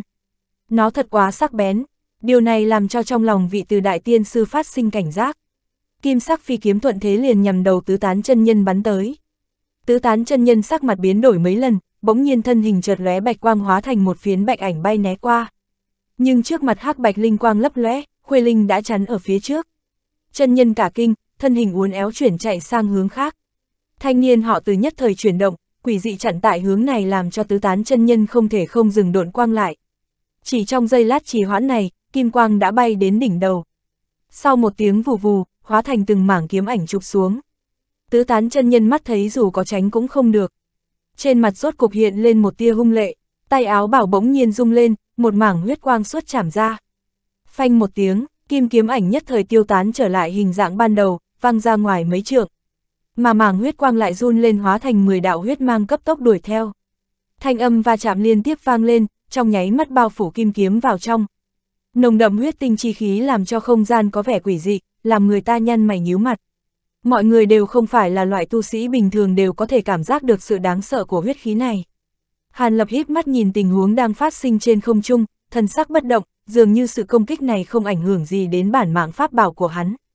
Thanh niên họ từ liếc nhìn Hàn Lập, trong mặt lóe ra một tia kinh ngạc.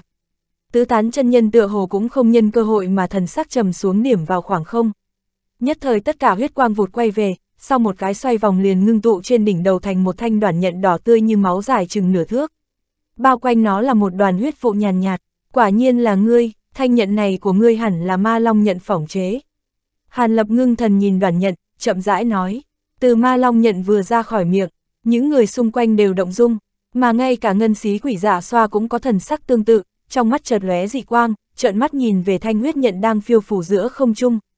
Tứ tán chân nhân không đáp lại lời của Hàn Lập, ngược lại nhìn chăm chăm vào thanh kim sắc phi kiếm, trên mặt thể hiện sự giật mình. Bởi vì phi kiếm đã bị huyết nhận đánh hạ nhiều như vậy, nhưng thân kiếm vẫn lóe kim quang, ngay cả một chút hư tổn cũng không có. Điều này làm cho tứ tán chân nhân biết rõ uy lực của huyết nhận cũng khó có thể tin đó là sự thật. Không cần lo lắng, phi kiếm của ta có chút đặc thù, huyết nhận của ngươi cho dù có tập trung uy lực lại như cũ cũng đừng có mảy may si tâm vọng tưởng. Hàn lập nhướng mày, phẩy tay vào không trung, khẩu phi kiếm run lên bay vụt về. Như thế nào, ngươi không muốn giết ta à? Tứ tán chân nhân thấy vậy, ánh mắt chợt lóe nói. Giết ngươi, vì sao phải làm vậy? Ngươi chém giết những người đó cùng ta không thân chẳng thích. Ta cũng chẳng hứng thú thay bọn họ cái gì là báo cừu. Đám người vô dụng đó dù sao cũng đã bị giết rồi, lưu lại cũng không có tác dụng nhiều. Hiện ngươi lại đang có bảo vật mạnh như vậy, ngược lại chúng ta có thể cùng ngươi liên thủ một lần. Hàn Lập cười âm trầm nói, ý Hàn đạo hữu là, thanh niên họ từ động dung, ngầm hiểu ý Hàn Lập. Nếu muốn từ nơi này đi ra ngoài, chỉ có thể dựa vào lực lượng mạnh mẽ. Hắc Phong Kỳ tuy là thông thiên linh bảo nhưng lúc này Nguyên Sát Thánh Tổ đang phân tâm ứng địch nên cũng không phát huy ra nhiều uy lực. Chúng ta nhân cơ hội này, mạnh mẽ công kích hẳn có thể phá được không gian này. Hàn Lập trầm giọng nói, từng có kinh nghiệm một lần phá không gian chướng bích ở Linh Miếu Viên, trong lòng hắn cũng có vài phần nắm chắc. Mặc dù khi hắn tới Linh Miếu Viên, không gian đã có phần bất ổn, mới có thể làm được. Nhưng hiện tại ở đây số tu sĩ Nguyên Anh cũng không phải là chỉ mình hắn, nếu có thể phối hợp khéo léo, uy lực đủ lớn, hẳn có thể làm được. Lời Hàn đạo hữu thật có đạo lý, ý của ngân sĩ đạo hữu thì sao? Thanh niên họ từ hơi cân nhắc, quay đầu hỏi ngân xí quỷ dạ xoa. Uy năng huyết nhận của người này không nhỏ, chỉ cần có thể thoát khốn, đương nhiên có thể thử một lần. Ngân xí quỷ dạ xoa nhìn chằm chằm tứ tán chân nhân một lát, trong mắt hiện lên vẻ kỳ quái, không chút do dự nói. Hàn lập thấy vậy, hướng về tứ tán chân nhân nhàn nhạt nói. Điều kiện chúng ta ngươi cũng nghe rồi, chúng ta có khả năng bắt ngươi, nhưng liên thủ giúp chúng ta cũng là giúp chính bản thân ngươi. Ngươi hẳn không sợ bị yêu ma thôn phê nguyên anh chứ. Tứ tán chân nhân thần sắc không đổi nhưng ánh mắt chấp động không ngừng, hiển nhiên là đang cân nhắc đề nghị của Hàn Lập. Rời khỏi nơi này, ta và các ngươi không cùng phe, các ngươi không lợi dụng tính sổ sao. Tứ tán chân nhân rốt cục mở miệng, ngươi cho rằng chúng ta là đám chính đạo ăn no rừng mỡ không có việc gì làm à. Chỉ cần không ngươi gây nguy hiểm cho chúng ta, ai có hứng thú tìm ngươi chuốc lấy phiền toái. Thanh niên họ từ hừ lạnh khinh thường nói, điều này cũng đúng, nếu nơi này có những tên gia hỏa chính đạo, ta thật có phần lo lắng. Hiện tại nếu các vị đạo hữu nói như vậy, trịnh mỗ đương nhiên sẽ không cự tuyệt. Tứ tán chân nhân bóng cười, mở miệng đáp ứng. Đối phương đồng ý nhanh như vậy làm Hàn Lập có chút ngoài ý muốn, nhưng tình huống này như vậy là hợp lý. Lúc này mấy người đồng loạt ghé vào nhau, cùng thương lượng phương pháp phối hợp.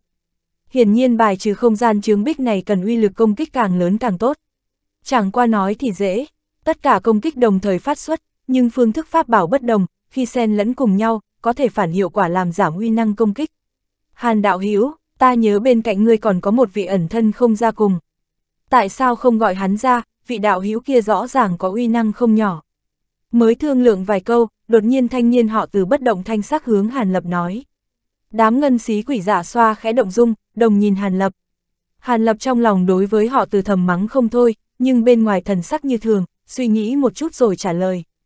Các vị yên tâm, vị đạo hữu kia sẽ giúp chúng ta một tay, không cần phải gọi hắn ra, bởi vì đặc thù công pháp nên không tiện hiện thân. Nghe được Hàn Lập nói như vậy, thanh niên họ từ lộ vẻ bất mãn. Nhưng đã từng chứng kiến Hàn Lập công kích xong đầu cổ ma thật quỷ dị, cũng không dám ép quá, chỉ có thể hừ lạnh một tiếng mà thôi. Bên kia, tứ tán chân nhân đã đáp ứng liên thủ, trên gương mặt vẫn cười hì hì, giờ phút này gặp Hàn Lập cùng họ từ mâu thuẫn không nhỏ, trong mắt một tia sắc lạnh hiện lên. Đúng lúc này, sắc mặt hắn bỗng nhiên khẽ biến, nhưng lập tức khôi phục lại như thường. Tiếp theo chậm rãi cúi đầu làm cho người ta không thấy rõ gương mặt, bộ dáng từ bi hỏa ái. Nhưng trên thực tế, môi hắn khẽ nhúc nhích, không ngừng âm thầm truyền âm cho người nào đó. Một lát sau, hắn ngẩng mặt lên, lúc này gương mặt trở lại thần sắc cười tủm tỉm, chỉ là không có ai chú ý tới, phía trên mờ u bàn tay không biết khi nào mọc ra dày đặc bạch mau. Mỗi cái lông dài mấy tấc cứng như kim châm, chương 1047, đột một phá trương bích. Bạch mau trên tay tứ tán chân nhân hiện lên trong nháy mắt rồi lập tức thu vào vô ảnh vô tung, sau đó coi như không có việc gì, tiếp tục cùng đám Hàn Lập thương lượng việc phá vỡ trương bích. Hàn Lập thần sắc không nóng không lạnh, thanh âm khi nói chuyện nhàn nhạt, nhưng không ai chú ý đến việc hắn phân ra một luồng thần niệm tiến vào túi linh thú, nhẹ nhàng trấn an để hồn thú đang bỗng nhiên trở nên bất an. Đồng thời trong đầu hắn đột nhiên lướt qua một ý niệm khác thường. Sau thời gian uống cạn tuần trà, đám người Hàn Lập cũng thống nhất được phương án động thủ.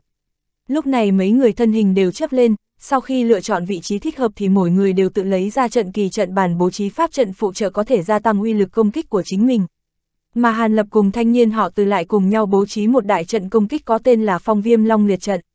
Trận pháp này tuy chưa thể so sánh với một số ít cấm trận của một số tông môn nhưng tại thời điểm này có thể xem là trận pháp công kích lợi hại nhất. Phòng trừng trận pháp này sau khi bố trí xong đủ để có thể ngăn cản được một gã tu sĩ Nguyên Anh hậu kỳ dùng pháp bảo toàn lực công kích, tự nhiên là có tác dụng rất lớn. Nửa khắc trôi qua, các trận pháp đều bố trí xong. Đám người khuê linh cùng ngân xí giả xoa đều tiến vào trong các trận pháp phụ trợ. Về phần phong viêm long liệt trận tự nhiên là do Hàn Lập cùng thanh niên họ từ đồng chủ trì. Nói ra cũng thực buồn cười, quan hệ giữa Hàn Lập cùng Thiên Lan Thánh Điện vốn là ngươi chết ta sống, trong nháy mắt lại bị bước vào thế không thể không liên thủ. Thanh niên họ từ nhìn về phía bức tường mông lung mờ mịt đang ngăn cản ở phía trước cách đó không xa, một tay giơ lên, một đoàn quang cầu màu trắng ngả rời tay bắn ra, đánh lên phía trên trướng bích. Nhưng quang cầu này không nổ mà nhẹ nhàng hạ xuống, huyền phù ở mặt ngoài của trướng bích, chớp sáng liên tục, trở thành một cái bia ngắm hết sức rõ ràng. Một khi động thủ, mong các vị đạo hữu tập trung công kích điểm này thanh niên họ từ không hề khách khí, nói. Những người khác cũng không nói gì, hiển nhiên là đã ngầm đồng ý việc này. Lúc này, thanh niên họ từ liếc mắt nhìn Hàn Lập đang ở trong trận một cái, khẽ gật đầu. Hàn Lập mỉm cười không nói gì, bắt tay niệm thần chú. Mười ngón tay hướng bốn phía liên tiếp búng ra, từng đạo pháp quyết bắn nhanh ra hướng về phía hơn 10 cây pháp kỳ cắm ở bốn phía các sắc linh quang nổi lên. Thanh âm vù vù nổi lên, thanh niên họ từ hít nhẹ một hơi, một tay phát ra hỏa hồng sắc linh quang đánh lên mặt đất một cái. Nhất thời một phiến hồng quang lấy hắn làm trung tâm hướng về các trận bàn chôn sâu trong lòng đất truyền tới. Mặt đất nhất thời rung chuyển, tiếp đó truyền đến vài tiếng phốc phốc, hơn 10 cột xích hồng hỏa trụ tại trung ương pháp trận phóng thẳng lên cao.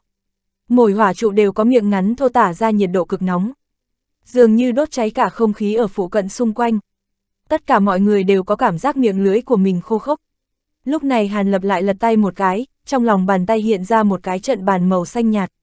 Tiện tay vỗ nhẹ bề mặt trận bàn, thanh quang chấp động, lập tức trong pháp trận hô ứng hiện ra nhiều điểm linh quang. Sau vài tiếng nổ vang lên, trong trận ngưng tụ hiện ra hơn 10 con thanh phong dao. Trong tiếng chú ngữ của Hàn Lập, mỗi con nhận thức chuẩn một cây hỏa trụ rồi quấn lên trên. Nhất thời phong hỏa giao hòa, hóa thành hơn 10 con phong hỏa giao lấy gió làm thân lấy lửa làm ra. Lửa được gió thổi tất sức lửa càng lúc càng mạnh, động thủ, vừa thấy phong hỏa giao thành hình, thanh niên họ từ sắc mặt chợt hiện vẻ vui mừng, quát lớn. Tiếp theo, hắn hé miệng phun ra một viên châu màu xanh bay đến đính lên đỉnh đầu của linh tê khổng tước lúc này hai cánh cũng đã phát sáng, ngũ sắc linh quang tuôn ra tiên vào viên châu này rồi bắn thẳng lên trường bích đang ngăn cản trước mặt, thanh thế kinh người dị thường. Đám người ngân xí dạ xoa, Lâm Ngân Bình cũng đều phát động phụ trợ trận pháp, hoặc xuất ra thần thông của bản thân, hoặc tế ra pháp bảo công kích, dựa theo trình tự huyền diệu nhất định, công kích về phía trường bích.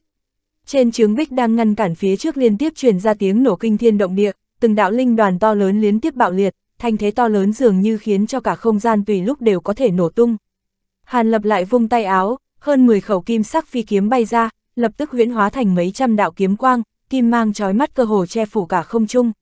Ở phụ cận, thanh niên họ từ cùng các tu sĩ khác thấy uy thế như vậy, vốn lúc đầu đã để ý đến sự sắc bén của thanh trúc phong vân kiếm, hiện đều khẽ biến sắc, trong lòng càng thêm kiêng kỵ đối với Hàn Lập.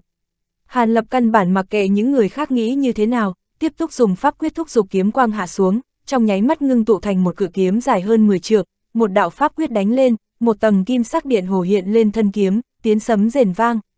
Chẳng qua, tuy rằng cự kiếm thành hình nhưng Hàn Lập cũng không vội vã thúc dục bảo vật này, mà trong miệng khẽ quát một tiếng, đột nhiên pháp bản trong tay tung ra. Sau đó hai tay bấm quyết niệm thần chú rồi hướng đến pháp bản điểm liên tiếp vài cái. Nhất thời pháp bàn trên không trung rung lên rồi sau đó nổ tung. Một mảng thanh quang to lớn từ trên chụp xuống, sau đó mắt nhập vào pháp trận rồi biến mất. Trận kỳ tại bốn phía sau khi hấp thu thanh quang liền phát ra linh quang kinh người. Hơn 10 con phong hỏa dao đang bay lượn trong chân đột nhiên quay cuồng một trận, trong miệng cùng phát ra tiếng long ngâm, hình thể tăng lên gấp mấy lần, dương nhanh múa vuốt hướng về phía trước phong tới. Hơn 10 con phong hỏa dao mang theo khí thế kinh người, xếp thành một hàng thẳng tắp, hung hăng đánh tới trướng bích. Lúc này đây, bức tường màu xám u tối đang ngăn căn phía trước rốt cục run rẩy kịch liệt, sau đó liền vặn vẹo biến hình. Ngay tại thời điểm phong hỏa giao lao lên bức tường rồi nổ tung, hóa thành một cự đại phong hỏa cầu. Mạt huyết quang chợt lóe, liền hóa thành một thanh cự đại huyết nhận chém lên cùng một chỗ phía trên trứng bích. Phanh, tiếng giòn vang truyền đến nghe như đồ sứ bị vỡ. Phía trên trứng bích rốt cục hiện ra một cái khe khoảng một trượng nhưng chỉ sâu khoảng vài thước, xem ra vẫn chưa bị xuyên thủng. Nhưng nếu cứ để như vậy, trên khe hở hắc quang chợt lóe, có vẻ như đang muốn khép lại. Nhưng đám người thanh niên họ từ cùng ngân xí dạ xoa khẳng định sẽ không để uổng phí cơ hội này. Lúc này, các loại pháp bảo như cuồng phong bạo vũ điên cuồng vây quanh khe hở công kích không ngừng mới tạm thời miễn cưỡng làm chậm xu thế khép lại của khe hở. Lúc này, Hàn Lập ra tay, cự kiếm đã được xúc thế từ sớm, trong tiếng rít gào hóa thành một đạo kim sắc lôi điện, hung hăng chém lên phía trên khe hở. Kim hình kiếm quang trong khe hở bạo liệt, giống như một vầng thái dương kim sắc hiện lên bên trong, trong nháy mắt tan rã nhưng làm cái khe mở rộng ra gấp mấy lần. Hiệu quả của một kích này so với công kích trước kia của đám người xung quanh phải lớn hơn mấy lần. Không riêng gì những người khác ngẩn ra, mà Hàn Lập cũng rất sửng sốt. Chuyện gì đã xảy ra thế này? Xem tình hình vừa rồi, dường như ích tà thần lôi vừa vặn khắc chế trương bích. Chẳng lẽ, Hắc Phong Kỳ đúng là một kiện ma đạo linh bảo? Nếu đúng là như vậy thì việc xuất hiện tình huống như thế này cũng không phải là không có khả năng. Nhân lúc Hàn Lập còn đang thầm hỏi, kim quang chợt tắt, Trương Bích lộ ra bạch quan nhàn nhạt, cái khe bên trong giường như chỉ còn một tầng mỏng manh. Mọi người thấy vậy đều mừng rỡ trong lòng, không ai bảo ai đều thúc giục pháp bảo công kích. Một thanh hắc sắc phi đao vô thanh vô tức xuất hiện tại cái khe, sau đó lướt qua rồi biến mất. Nhưng tầng trướng bích cuối cùng này lập tức truyền ra một tiếng phanh nhỏ, lập tức hiện ra một đạo hắc mang ở phía trên, rồi dần dần vỡ vụn thành từng mảnh, một lỗ thủng to vài trượng mở ra, hiện ra cảnh sắc quen thuộc bên ngoài. Vừa thấy cảnh này, mọi người đều mừng rỡ, nhưng ngân quang chợt lóe, một bóng người quỷ dị đã hiện lên phía trước lỗ thủng, sau đó thân hình chợt lóe rồi lập tức bay ra bên ngoài. Chính thị là nhân hình khôi lỗi của Hàn Lập, những kẻ nguyên còn một chút trì hoãn, luống cuống tay chân, cũng không kịp nghĩ nhiều, mọi người đều đồng loạt thi triển các loại độn thuật bắn nhanh đến lối đi duy nhất này. Hàn Lập sau lưng cũng hiện ra một đôi ngân xí, nhưng không lập tức thuấn di ra ngoài, mà trong mắt dị sắc chợt lóe, môi khẽ nhúc nhích một chút. Nguyên Khuê Linh đã hóa thành một đạo hắc bạch khí xuất hiện trước chướng bích, nhưng đột nhiên trên mặt hiện ra một tia kinh nghi, động tác không khỏi một chút trì hoãn. Nhân sự trì hoãn này, đám người thanh niên họ từ, các yêu vật, lại dành trước từng bước chui ra khỏi chướng bích. Đúng lúc này, bên ngoài chướng bích bỗng chớp động huyết quang cực kỳ chói mắt, vô số hắc ti suy, suy phá không vọt qua lỗ thủng. Tiếng quát to như sấm của thanh niên họ từ cùng với tiếng hét kinh nộ cùng cực của Lâm Ngân Bình cơ hồ vang lên cũng một lúc. Ở bên ngoài, tiếng bạo liệt nổi lên, hiện ra nồng đậm huyết khí, mà trong đó tứ tán chân nhân đang đắc ý cười âm hiểm. Đi Hàn Lập không chút trì hoán, khẽ quát một tiếng, phong lôi xí sau lưng hung hăng hóa thành một đạo ngân hình trực tiếp chui qua lỗ thủng. Khuê Linh tuy rằng trong lòng kinh ngạc, nhưng không nghĩ ngợi nữa lập tức theo đi ra ngoài. Thân hình Hàn Lập vừa mới xuất hiện bên ngoài trướng bích, vô số huyết khí từ bốn phía lập tức hướng đến hắn quét đến. Nhưng hắn đã sớm có phòng bị, ngân hồ chấp động vài cái đã thoát ly khỏi huyết khí, hiện ra ở một chỗ cách đó vài trăm trượng. Thân hình vừa dừng lại nhìn về phía động khẩu, kết quả khiến cho khóe mắt hắn không khỏi nhảy dựng. Chỉ thấy bên ngoài lỗ hổng nhanh chóng thu nhỏ lại, nhưng lại xuất hiện một phiến huyết hải rộng hàng mẫu. Khôn cùng huyết vụ đặc quánh như dịch thể, huyết tinh chi khí quay cuồng mãnh liệt. Mà dường như có vật gì đó đang nhẹ nhàng bay lượn phía bên trên huyết hải, không bị rơi vào bên trong huyết khí, chính là ngân si dạ xoa, sư cầm thú cùng một gã quái vật cả người đầy lông trắng, thân thể cao lớn. Quái vật đang mặc trang phục của tứ tán chân nhân, cả người tỏa ra thi khí trùng thiên, bỗng nhiên quay lại, hai mắt lục hỏa chấp động, miệng lộ răng nanh, để lộ ra gương mặt khô quắt dị thường của một con gấu lông trắng. Giờ phút này, quái vật kia đang thao túng huyết nhận biến ảo thành huyết quang đem huyết khí vây chặt lấy một bóng người bên trong trong huyết hải, làm cho người này không thể thoát thân. Người này thân thể chỉ còn có nửa phần, một tay một chân đã không cánh mà bay, đang liều mạng thúc giục một khỏa thanh châu và ngân câu pháp bảo ngăn cản huyết quang trên đầu cùng huyết khí từ bốn phía xâm thực, trên mặt tràn đầy vẻ oán độc. Hắn chính là đại tiên sư của Thiên Lan Thảo Nguyên, vị thanh niên họ Từ. Cách hắn không xa, con linh tê khổng tước có thần thông không nhỏ lại bị sư cầm thú đang biến thành tử vụ đồng dạng gắt gao vây lại, chỉ có thể miễn cưỡng tự bảo vệ mình. Tình cảnh của Lâm Ngân Bình cũng không tốt, không chạy đi đâu được, đang bị ngân xí giả dạ xoa thả ra vô số sát hồn ti công kích tại giữa không trung, làm nàng luống cuống chân tay. Nếu không nhờ cầm mặt ngân tầm của nàng thần thông không nhỏ, phun ra ngân ti mới có thể ngăn cản được một chút công kích của những sợi hôi ti vô khổng bất nhập, chỉ sợ đã sớm bị bắt rồi. Nhưng cứ như vậy, chuyện nàng bị đả bại cũng chỉ là chuyện sớm hay muộn mà thôi. Là nó, nhờ được Hàn Lập nhắc nhở, Khuê Linh đã thuấn di tới bên cạnh Hàn Lập, đột nhiên chừng mắt nhìn về phía quái vật lông trắng, thét lên một tiếng kinh hãi. chương 1048, điều kiện, như thế nào, người biết nó sao? Hàn Lập hỏi nhưng không quay đầu lại, tạm thời cứ cho là như vậy. Do dự một lúc, Khuê Linh mới thành thật trả lời. Ngươi nói vậy là có ý tứ gì? Hàn Lập ánh mắt chấp động, quay đầu lại hỏi Khuê Linh. Nó trước khi biến thành luyện thi cũng là một con linh thú, năm đó xem như từng có một ít giao tình với chúng ta. Chủ nhân của nó cũng là nhân loại tu sĩ từ linh giới xuống nhân giới, chỉ có điều là từ sau khi chúng ta bị phong ấn ở Côn Ngô Sơn thì vẫn chưa gặp lại nó lần nào nữa, cũng không biết nó làm thế nào biến thành luyện thi.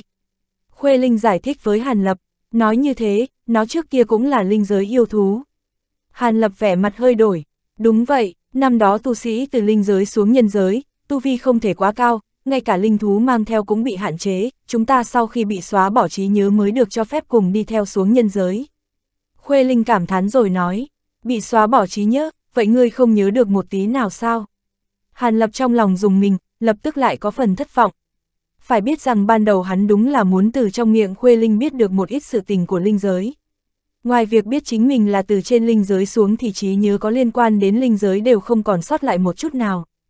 Khuê Linh trên mặt lộ ra vẻ phiền muộn, Hàn Lập trầm mặc, trong đầu ý nghĩ vừa chuyển lại nghĩ tới Ngân Nguyệt. Ngân Nguyệt thân phận không phải đơn giản, chắc là phải có một chút trí nhớ về linh giới chứ. Trong lòng hắn lại bắt đầu chuyển động nhưng lập tức lại đem việc này giấu kín trong đáy lòng, bây giờ cũng không phải lúc để suy nghĩ về việc này, ánh mắt của hắn theo bản năng lại quét qua những chỗ khác. Sau khi từ trong vách chắn đi ra, không gian đã thay đổi quỷ dị hơn một ít. Xung quanh vắng vẻ, không có lấy một bóng người. Chẳng những bát linh thước vốn trôi nổi ở phía trên cung điện đã không thấy bóng dáng, ngay cả hắc phong kỳ dùng để giam cầm bọn họ cũng không cánh mà bay. Chẳng trách bọn họ lại có thể phá cấm chế dễ dàng như thế. Trên mặt đất khắp nơi đều là những hố sâu thật lớn cùng với từng vết hình móng vuốt dài đến mấy trượng giống như bị cào bởi một con cự thú nào đó. Hơn một nửa cung điện đã bị phá hủy hoàn toàn trông như phế tích, dường như nơi này vừa mới trải qua một cuộc chiến vô cùng thảm liệt. Hàn Lập sớm đã dùng thần thức đảo qua phần còn sót lại của cung điện, đáng tiếc cấm chế được bố trí bên trong để ngăn cản thần thức vẫn còn tồn tại, nhất thời cũng không có phát hiện được gì. Nhưng điều này cũng khiến cho hắn an lòng, dù sao nguyên sát thánh tổ gây cho hắn áp lực thật sự quá lớn. Nếu như cùng với nguyên sát thánh tổ chính diện giao đấu thì hắn khẳng định sẽ không địch lại. Nhưng mà truyền tống trận duy nhất bây giờ đã bị ngăn bởi cấm chế của Hắc Phong Kỳ, nếu muốn rời đi nơi này chỉ có thể tìm cách khác. Ánh mắt chấp động, Hàn Lập bắt đầu suy nghĩ cách thoát thân. Hàn Đạo Hiếu, nếu ngươi chịu ra tay tương trợ ta cùng với tử huynh, ân oán của ngươi với Thiên Lan Thánh Điện chúng ta, ta có thể lấy thân phận thánh nữ tự mình gánh vác, hóa giải ân oán giữa ngươi và Thiên Lan Thảo Nguyên. Đúng lúc này Lâm Ngân Bình đột nhiên hướng về Hàn Lập gọi to, trong tiếng nói tràn ngập sự lo âu.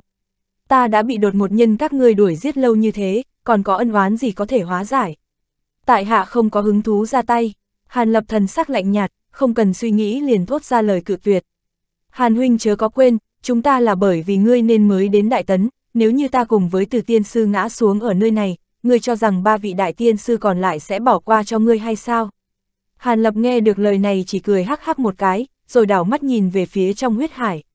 Chỉ thấy Lâm Ngân Bình đang thúc giục cầm khăn cầm ở trong tay làm cho ngân quang phát ra chói mắt, tạm thời đem sát hồn ti đẩy lui ra xa vài phần, sắc mặt nhưng lại trắng bệch hiển nhiên là đã sử dụng bí thuật để đề thăng uy lực của pháp bảo. Từ thanh niên bởi vì lúc trước bị đánh lén, bây giờ lại bị vây khốn ở trong huyết hải, tuy rằng sử dụng hai kiện pháp bảo uy lực không nhỏ bây giờ cũng đã có vẻ lung lay sắp đổ không thể chống đỡ được nữa. Tình hình tốt nhất, lại là linh tê khổng tước quanh thân đang phát ra ngũ sắc linh quang. Con thượng cổ linh cầm này tuy rằng không thể thoát ra khỏi tử vụ, nhưng sư cầm thú cũng tạm thời không thể làm gì được nó, dù sao kim ba công kích lợi hại nhất của con hung cầm này, dường như lại bị khắc chế bởi ngũ sắc linh quang, bất kể có bao nhiêu kim ba đánh lên linh quang thì đều lập tức tiêu tán. Bây giờ Lâm Tiên Tử có nói như thế nào, tại hạ cũng sẽ không ra tay. Nói thật nếu không phải thấy hai vị xem ra khó thoát khỏi kiếp nạn, tại hạ thậm chí còn muốn thừa gió bẻ măng một hồi. Còn ba gã tiên sư kia nếu như tìm tới cửa thật, Hàn mỗ cũng không ngại cùng với bọn họ luận bàn một chút thần thông. Hàn lập thần sắc ung dung, trả lời không nhanh không chậm. Hắn nói những lời này thật sự cũng không phải là giả. Sau khi chảm sát cổ ma, bây giờ Hàn Lập đã hiểu được đại khái thực lực của bản thân mình. Có hình người con rối ở bên người cùng với Khuê Linh hoàn toàn nghe theo mệnh lệnh của mình, hắn có thể cùng một lúc giao thủ với ba hay bốn gã nguyên anh hậu kỳ tu sĩ mà không rơi vào thế hạ phong.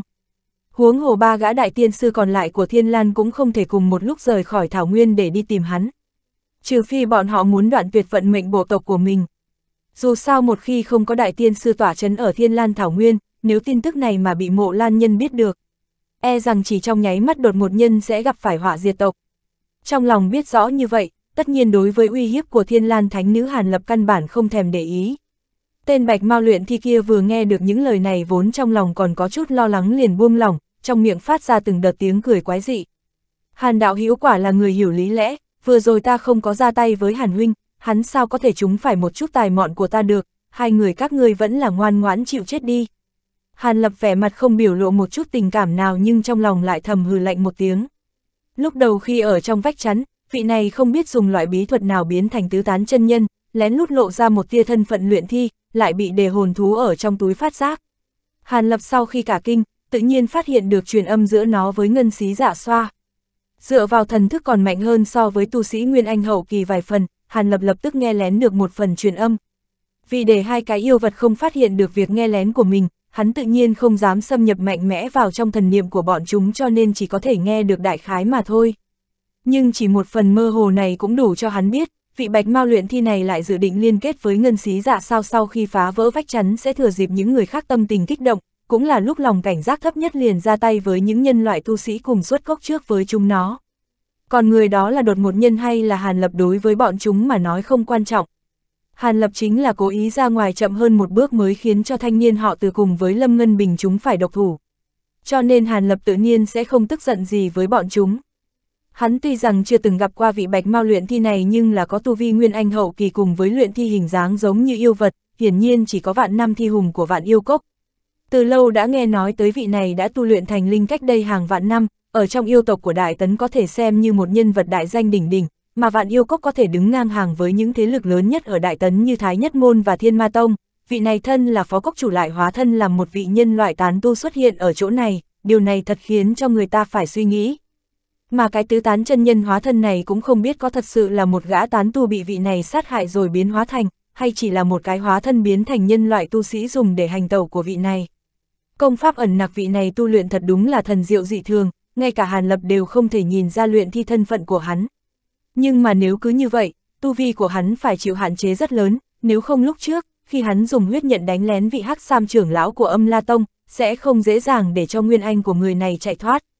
Hàn Lập nhìn xa xa vạn năm thi hùng cả người thi khí trùng thiên đang đứng trôi nổi ở trong biển máu, Hàn Lập trong đầu đang suy nghĩ nhưng ngoài mặt vẫn như thường, không chút biểu cảm, rồi bỗng nhiên trong mắt hiện lên một luồng hàn quang.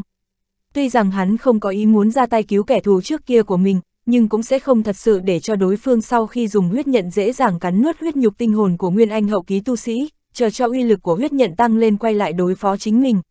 Chỉ cần tới lúc thanh niên họ từ chết, chính là lúc hắn ra tay cướp lấy huyết nhận. Nghĩ đến cho dù huyết nhận có thể chuyển hóa uy năng nhanh đến mấy, khẳng định ở giữa còn có một đoạn thời gian trì hoãn. Trong khoảng thời gian này chính là cơ hội tốt nhất để hắn cướp lấy huyết nhận. Bảo vật tà môn bậc này, tất nhiên là phải nắm chắc trong tay mình mới cảm thấy ổn thỏa. Hàn Lập trong lòng sớm đã có quyết định, lúc này Hàn Lập vẻ mặt không đổi nhưng môi lại khẽ nhúc nhích vài cái. Khuê Linh ở một bên ánh mắt thoáng động, sắc mặt vẫn như thường. Hàn huynh, nếu ngươi chịu ra tay tương trợ, ta sẽ đem bí quyết biến thành thành thuộc thể sau cùng của phệ kim trùng tặng cho ngươi. Điều kiện này cũng đủ để đạo hữu động tâm đi. Thanh niên họ từ vốn vẫn trầm muộn không nói gì bỗng nhiên hít một hơi thật sâu rồi hướng về phía Hàn Lập quát lớn. Phệ kim trùng, Hàn Lập bỗng ngẩn ra, trên mặt lộ ra vẻ kỳ quái. Không được, phương pháp chuyển hóa thành thuộc thể sau cùng của phệ kim trùng, là bí mật bất truyền của thánh điện chúng ta, làm sao có thể tiết lộ cho người ngoài được. Lâm Ngân Bình vừa nghe được những lời ấy liền lập tức phản đối. Tính mạng đều không giữ được còn lo lắng bí mật bất truyền cái quái gì. Chẳng lẽ người thật sự muốn bị cái huyết nhận này cắn nuốt đến lúc ngay cả cơ hội đầu thai luân hồi cũng không có sao. Hơn nữa nếu như chúng ta thật sự ngã xuống, mộ lan nhân sẽ nhân cơ hội này phản công Thảo Nguyên, chỉ một cái bí thuật mà so với sự hưng suy của bản tộc, căn bản không tính là gì. Thanh niên họ từ không đợi Lâm Ngân Bình nói hết liền ngắt lời sắc mặt phát xanh nói. Lâm Ngân Bình vừa nghe những lời này, vẻ mặt giống như tờ giấy trắng, cuối cùng không mở miệng nói nữa. Vạn năm thi hùng nhìn thấy Hàn Lập trên mặt lộ ra vẻ trầm ngâm, lập tức thầm cảm thấy không ổn. Lúc này cũng bất chấp tất cả, không dám bảo tồn pháp lực gì nữa, hai tay khắp quyết, pháp lực điên cuồng rót vào trong chỗ huyết quang do huyết nhận biến thành. Ngay lập tức huyết quang bạo trướng gấp bội, bỗng nhiên hóa thành một cái mặt quỷ cực lớn, cái miệng rộng mở ra, rồi vội vàng hướng về phía dưới như muốn nuốt chửng thanh niên họ từ đang ở trong huyết hải. Cơ hồ cùng lúc đó, bốn phía huyết vụ quay cuồng mãnh liệt một trận, từng đợt từng đợt lớn huyết lãng nối tiếp nhau tạo thành một cái huyết sắc lốc xoáy, trong nháy mắt lại đem thanh niên họ từ cuốn lấy thật gắt gao, làm cho hắn muốn tránh cũng không thể tránh. Thanh niên họ từ cả kinh, trong lòng kêu to không tốt, chỉ có thể đột nhiên thúc giục hai kiện bảo vật là ngân câu cùng với thanh sắc viên châu, hung hăng hướng về mặt quỷ đánh tới. Nhưng mặt quỷ trong miệng lại chợt lóe huyết quang, phun ra một chùm tơ máu, liền đem hai kiện bảo vật kia cuốn lấy rồi nuốt vào trong miệng. Thanh niên họ từ thấy thế vẻ mặt rất hoảng sợ, mặt quỷ lại hé ra mồm to lần nữa, lộ ra tất cả răng nanh, truyền ra một trận tiếng cười dữ tợn, rồi bổ nhào xuống huyết hải bây giờ đã không còn gì ngăn cản nữa. Thanh niên họ từ lập tức cắn răng một cái, trong cơ thể Nguyên Anh hai mắt mở to như muốn bỏ đi thân thể mà chạy trốn. chương 1049, Linh cầm cùng Nguyên Anh. Đúng lúc này, đột nhiên xuất hiện một đạo kim hình cung giống như thiên ngoại phi thiên, chợt lóe rồi đánh lên trên mặt quỷ.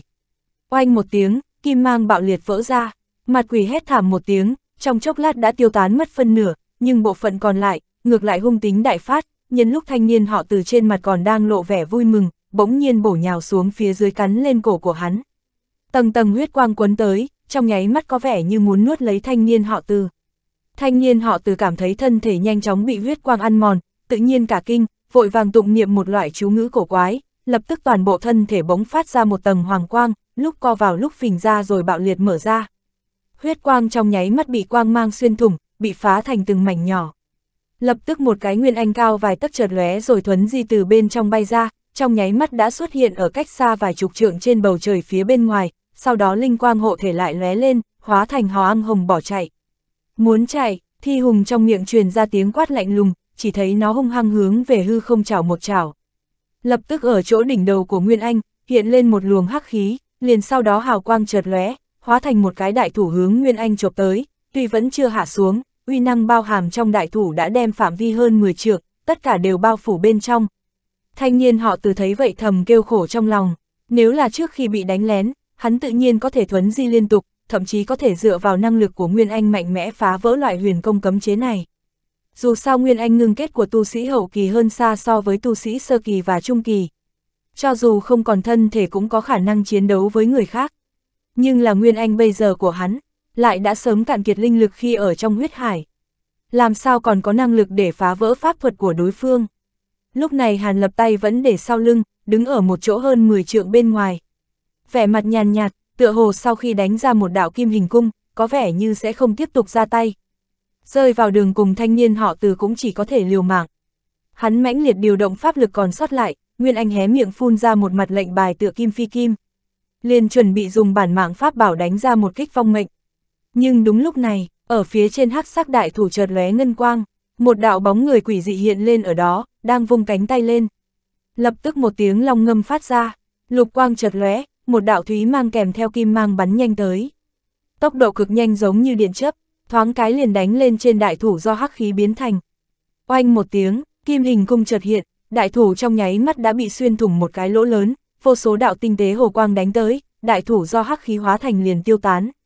Mà bóng người trong ngân quang nhoáng lên một cái, không ngờ lại trực tiếp vượt qua khoảng cách hơn 10 trượng đã tới bên cạnh Nguyên Anh của thanh niên họ từ rồi. Thanh niên họ từ tìm được đường sống trong chỗ chết vừa mừng vừa sợ, không chút lưỡng lự vận khởi linh quang quanh thân, hóa thành một đạo kinh hồng phi độn ra xa. Tuy rằng bóng người trong ngân quang dường như là muốn cứu hắn, hắn cũng tuyệt không dám để cho Nguyên Anh của mình dễ dàng rơi vào tay người khác. Cũng may bóng người trong ngân quang đối với việc này lại như không nhìn thấy, chỉ là vẻ mặt lạnh lùng nhìn về phía đám người thi hùng ở đằng xa. Mà lúc này, linh tê khổng tước hình như nhận được mệnh lệnh nào đó của thanh niên họ từ thân hình bỗng run lên, mấy cái lông chim dài, diễm lệ dị thường ở phần đuôi liền dựng thẳng lên rồi bắn về phía trước. Ngũ sắc quang hoa đại trướng, sư cầm thú cả kinh liền lùi lại không dám đón đỡ. Tử vụ nhất thời bị ngũ sắc linh quang chiếu xuống, liền tan ra làm xuất hiện một cái chỗ hổng lớn mấy trượng. Nhân cơ hội này Linh cầm hai cánh vỗ mạnh vài cái, thân hình giống như khói nhẹ sau khi vặn vẹo vài cái đã quỷ di xuất hiện ở bên ngoài tử vụ, sau đó liền bay thẳng về phía thanh niên họ từ, trong nháy mắt đã vào tới trước mặt hắn. Thanh niên họ từ mừng rỡ, không chút do dự làm cho Nguyên Anh hướng lên trên tụ lại cùng một chỗ với Linh cầm. Một màn không thể tin nổi xuất hiện, Linh cầm hé miệng ra, Nguyên Anh của thanh niên họ từ nhưng lại nhập vào trong đó thoáng cái đã không thấy bóng dáng. Lập tức một tiếng minh thanh, mấy cái lông còn sót lại ở đuôi của linh tê khổng tước bỗng nhiên xèo ra dựng thẳng lên. Lập tức ngũ sắc linh quang phát ra chói mắt, liền đem thân hình linh cầm bao phủ vào trong đó, không thể nhìn thấy một chút gì. Cơ hồ cùng lúc đó, ở trên không nơi đang diễn ra cuộc chiến giữa ngân xí dạ xoa và lâm ngân bình, bỗng nhiên toát ra một luồng khí hắc bạch, thân hình của khuê linh cũng theo sau hiện ra. Ngân xí dạ xoa vừa thấy sử phụ, vẻ mặt nhất thời cứng lại. Mà khuê linh sau khi quét mắt liếc nhìn hắn một cái, vẻ mặt không chút thay đổi, vẫn chưa có hành động gì nhưng lại khẽ nhúc nhích môi truyền âm vài câu. Ngân xí giả dạ xoa sắc mặt nhất thời khẽ biến, sau khi trầm ngâm trong giây lát liền thở dài một hơi. Đột nhiên hai tay vung lên, sát hồn ti vốn vẫn gắt gao vây khốn thiên lan thánh nữ bỗng bay chi chít trở lại, không tiếp tục bao vây Lâm Ngân Bình ở bên trong nữa. Lâm Ngân Bình mừng rỡ vừa định phi độn mà chạy đi, Khuê Linh mặt lại hiện lên một tia cười lạnh, thân hình nhoáng lên một cái, chợt bay tới bên cạnh nàng này, một chiếc búa lớn màu bạc hóa thành một giải ngân mang khẩn trương chém xuống. Trang cảnh này khiến cho thiên lan thánh nữ giật nảy người, không kịp suy nghĩ nhiều liền điểm một cái vào cầm khăn ở trước người muốn hướng tới không trung để ngăn cản một chút. Nhưng kỳ lạ quang mang chợt lóe, ở trên cự phủ hiện ra ảo ảnh của một con cự hổ một sừng, đồng thời đánh xuống. Tư lạp một tiếng, cầm khăn ở trong ngân quang lại bị chảm thành hai đoạn. Lập tức hổ ảnh kia nhoáng lên một cái trong nháy mắt hóa thành một luồng hoàng khí đem nàng này trùm ở bên trong. Lâm Ngân Bình cảm thấy một luồng khí tanh hôi đập vào mặt, chỉ kịp thầm kêu không ổn, rồi sau đó đầu nặng chịu. Tiếp theo liền ngã quỵ, Khuê Linh hai tay liền bắt quyết làm cho hoàng khí trói chặt lấy nàng này. Sau đó hai luồng khí hắc bạch liền quay cuồng, trong phút chốc đã bọc Lâm Ngân Bình vào trong rồi biến mất tại chỗ, sau vài cái chấp động đã xuất hiện ở bên cạnh Hàn Lập. Trong suốt cả quá trình này, thì Hùng lại không hề ra tay ngăn cản một tẹo nào, chỉ lạnh nhạt đứng nhìn, vẻ mặt trầm như nước không nói lời nào. Mà hình người con rối ở trong ngân quang sau khi cùng với Khuê Linh quay trở lại, thì nhoáng lên một cái đã bay vụt tới phía sau Hàn Lập. Hàn Lập không có liếc mắt nhìn Thiên Lan Thánh Nữ bị bắt lại đây, mà lại có vẻ mặt kinh ngạc nhìn về phía bên kia. Ở chỗ đó hào quang của ngũ sắc linh quang so với lúc trước còn trướng lớn gấp đôi có dư. Hàn đạo hiếu, ngươi thế này là có ý gì? Một trận tiếng nói giống như tiếng sấm ầm ầm từ trong linh quang truyền đến, thanh âm nghe có chút giống với giọng nói của thanh niên họ từ, nhưng lại khàn khàn hơn nhiều cũng tràn ngập một phần cuồng dã. Không có gì, Hàn mỗ không phải đã giúp đạo hữu cứu lâm đờ sao o hữu ra sao? Hàn lập vẻ mặt không thay đổi, nhàn nhạt trả lời. Nói như vậy, thì từ mỗ đã quá đa nghi rồi. Nam tử thanh âm hòa hoãn một chút, linh quang chợt tắt, hiện ra con linh tê khổng tước kia, chỉ là linh cầm lúc này so với lúc trước rõ ràng đã lớn hơn hơn một vòng, hơn nữa ở trên đầu của nó hiện ra một khuôn mặt bằng ánh sáng màu trắng ngà nhàn nhạt, giống như một loại hư ảnh, đúng là hình dáng của vị thanh niên họ từ kia. Nhưng mà gương mặt này khi nhìn thấy Lâm Ngân Bình đang bất tỉnh hôn mê, trên mặt ẩn hiện vẻ lo âu. Yên tâm, ta sẽ không làm gì với Lâm Đờ sau o hiếu. Nhưng tại hạ có vài chuyện trước hết cần hỏi đạo hiếu một chút. Tin tưởng đạo hiếu sẽ không khiến Hàn mỗ thất vọng, Hàn Lập thản nhiên nói. Hàn huynh muốn uy hiếp từ mỗ, gương mặt do hư ảnh hình thành kia bỗng nhiên trầm xuống, lộ ra một chút tức giận. Uy hiếp tự nhiên chưa nói tới, đạo hữu chẳng lẽ nhanh như vậy đã quên vừa rồi đã đáp ứng hàn mỗ như thế nào. Bây giờ lâm đờ sao o hiếu thân ở nơi này, chẳng qua là để đảm bảo từ huynh sẽ không làm ra việc gì mà thôi. Chẳng lẽ thật muốn lật lọng, hàn lập cười lạnh một tiếng, vẻ mặt bỗng trở nên âm trầm. Ngươi dù muốn hỏi cái gì, trước tiên cũng phải đuổi vài tên yêu vật này đi rồi nói sau.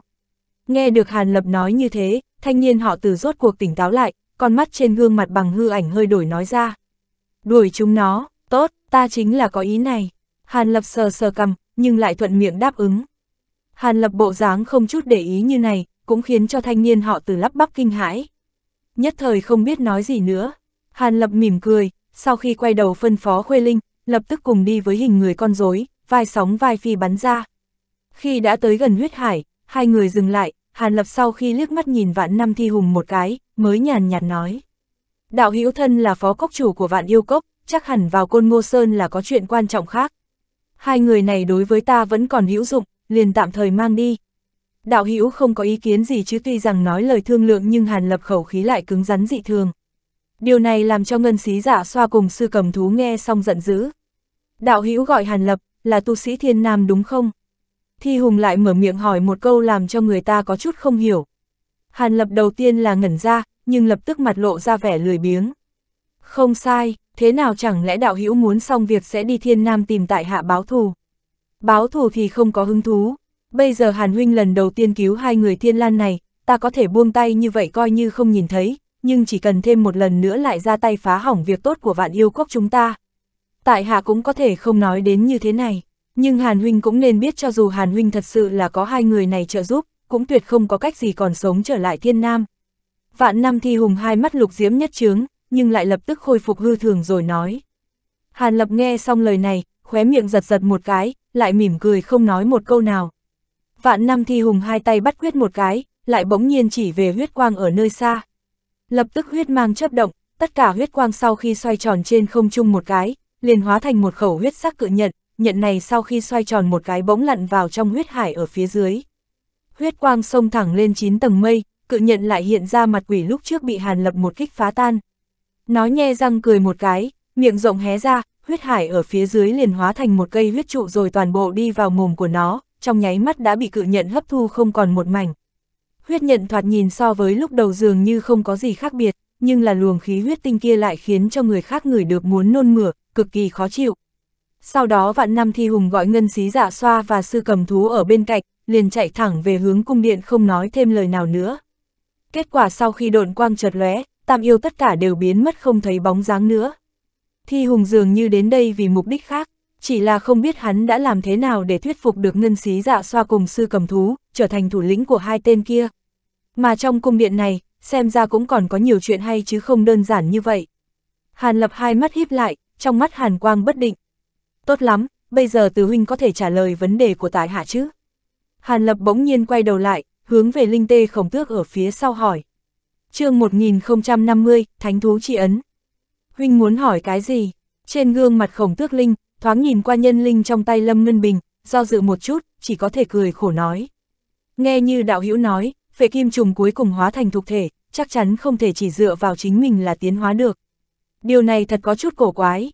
Theo ta được biết, loại kỳ trùng này là kỳ trùng thời cổ với hung danh khá hiển hách, nhưng cũng không thấy nói ở tu tiên giới có người sử dụng được thể thành thục, nhưng bởi khả năng không có cái gì không thể thôn về cùng đặc tính bất diệt, tại thời điểm đó cũng đã tạo nên sự khủng khiếp một đoạn thời gian. Phệ kim trùng của Thiên Lam Thánh Điện các ngươi, chỉ sợ cũng được lưu lại trứng trùng từ thời thượng cổ, mới có cơ hội sử dụng loại linh trùng này. Hàn Lập khẽ rung lên, liền trở về bên cạnh Khuê Linh, nhìn vào gương mặt hư ảnh kia, bất động thanh sắc nói.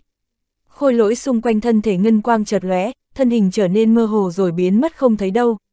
Nếu dựa vào phương pháp bình thường, chờ mấy vạn năm, phệ kim trùng tự nhiên có thể chậm rãi tiến hóa thành thuộc thể. Nhưng chúng ta dù là tu sĩ nhưng cũng có bao nhiêu thọ nguyên chứ? Cho dù cả một thế hệ truyền thừa, cũng không có bao nhiêu gia tộc hay tông môn có thể kéo dài được thời gian như thế. Đặc biệt phệ kim trùng muốn tiến hóa đến giai đoạn cuối cùng, thời gian tiến hóa càng lâu, đã làm cho người ta giảm đi sự kiên nhẫn.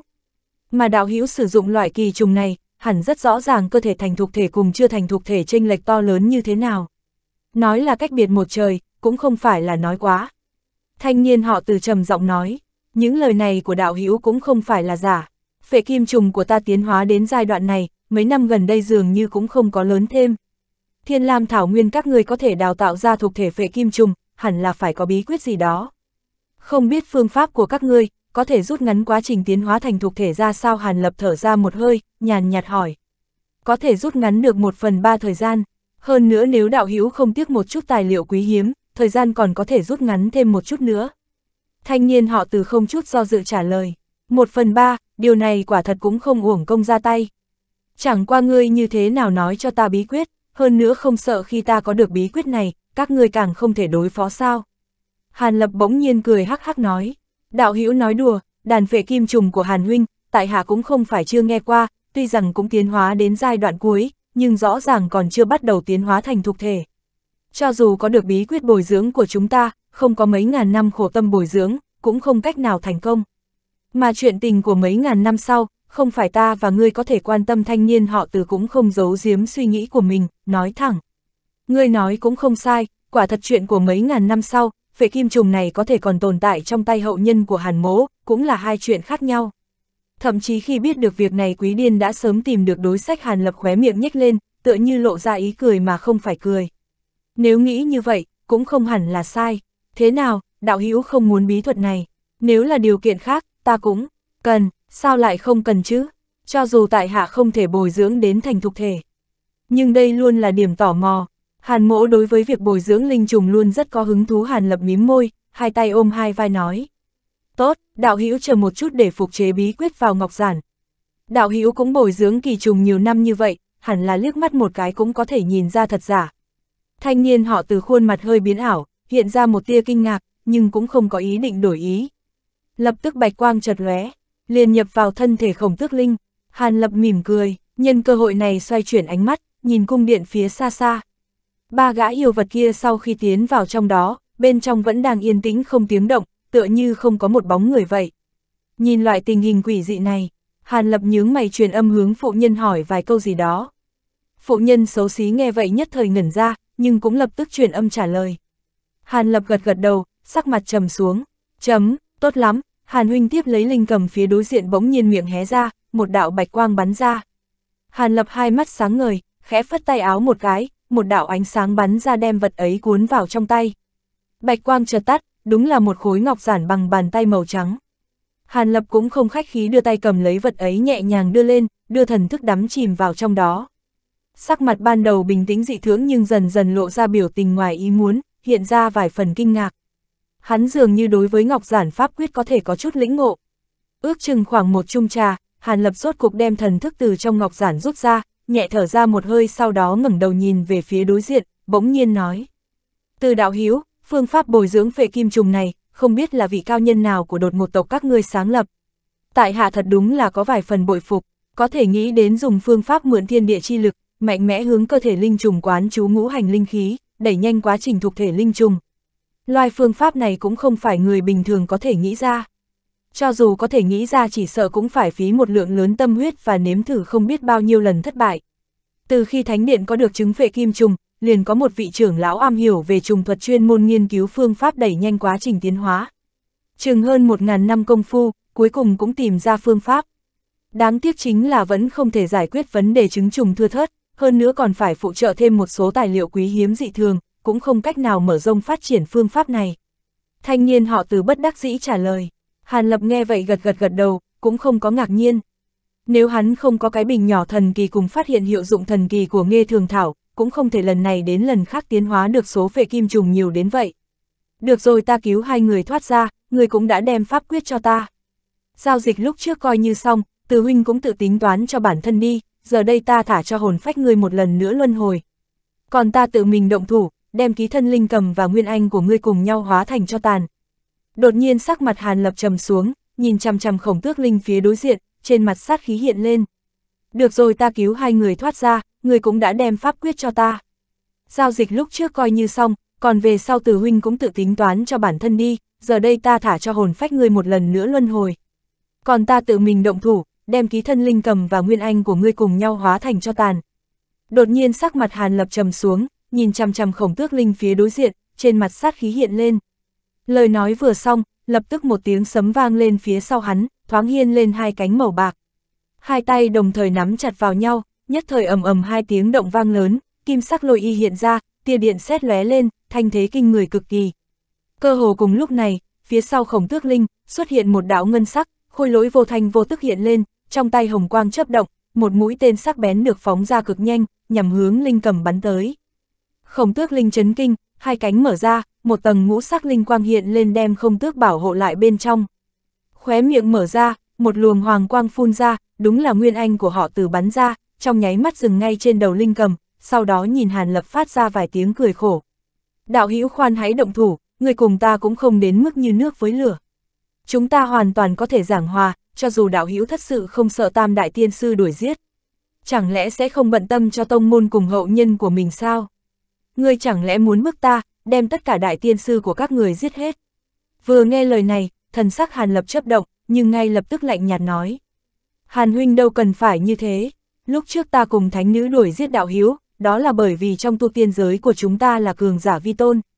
Đạo hữu lấy thân phận của một nguyên anh trung kỳ tu sĩ, nhưng ở trên thảo nguyên đánh chết và làm bị thương nhiều cao giai tiên sư của chúng ta như vậy, thánh điện tự nhiên phải bắt đạo hiếu. Về sau đạo hiếu lại lấy đi thánh thú phân thân, điều này càng phạm vào cấm kỵ của thánh điện, không thể không đuổi theo từ đại tấn đến đây. Nhưng hiện tại bất đồng, có thể sai khiến hai gã hậu kỳ tu sĩ, bản lĩnh thần thông cũng không dưới đại tu sĩ, cũng đã có tư cách cùng ngồi ngang hàng với tiên lan thánh điện chúng ta, chúng ta cũng không muốn cùng đạo hữu lưỡng bại câu thương, tự nhiên giảng hòa mới là tối ưu. Hơn nữa trong côn ngô sơn nguy hiểm dị thường, ta và ngươi liên thủ để bảo vệ mình là tốt nhất.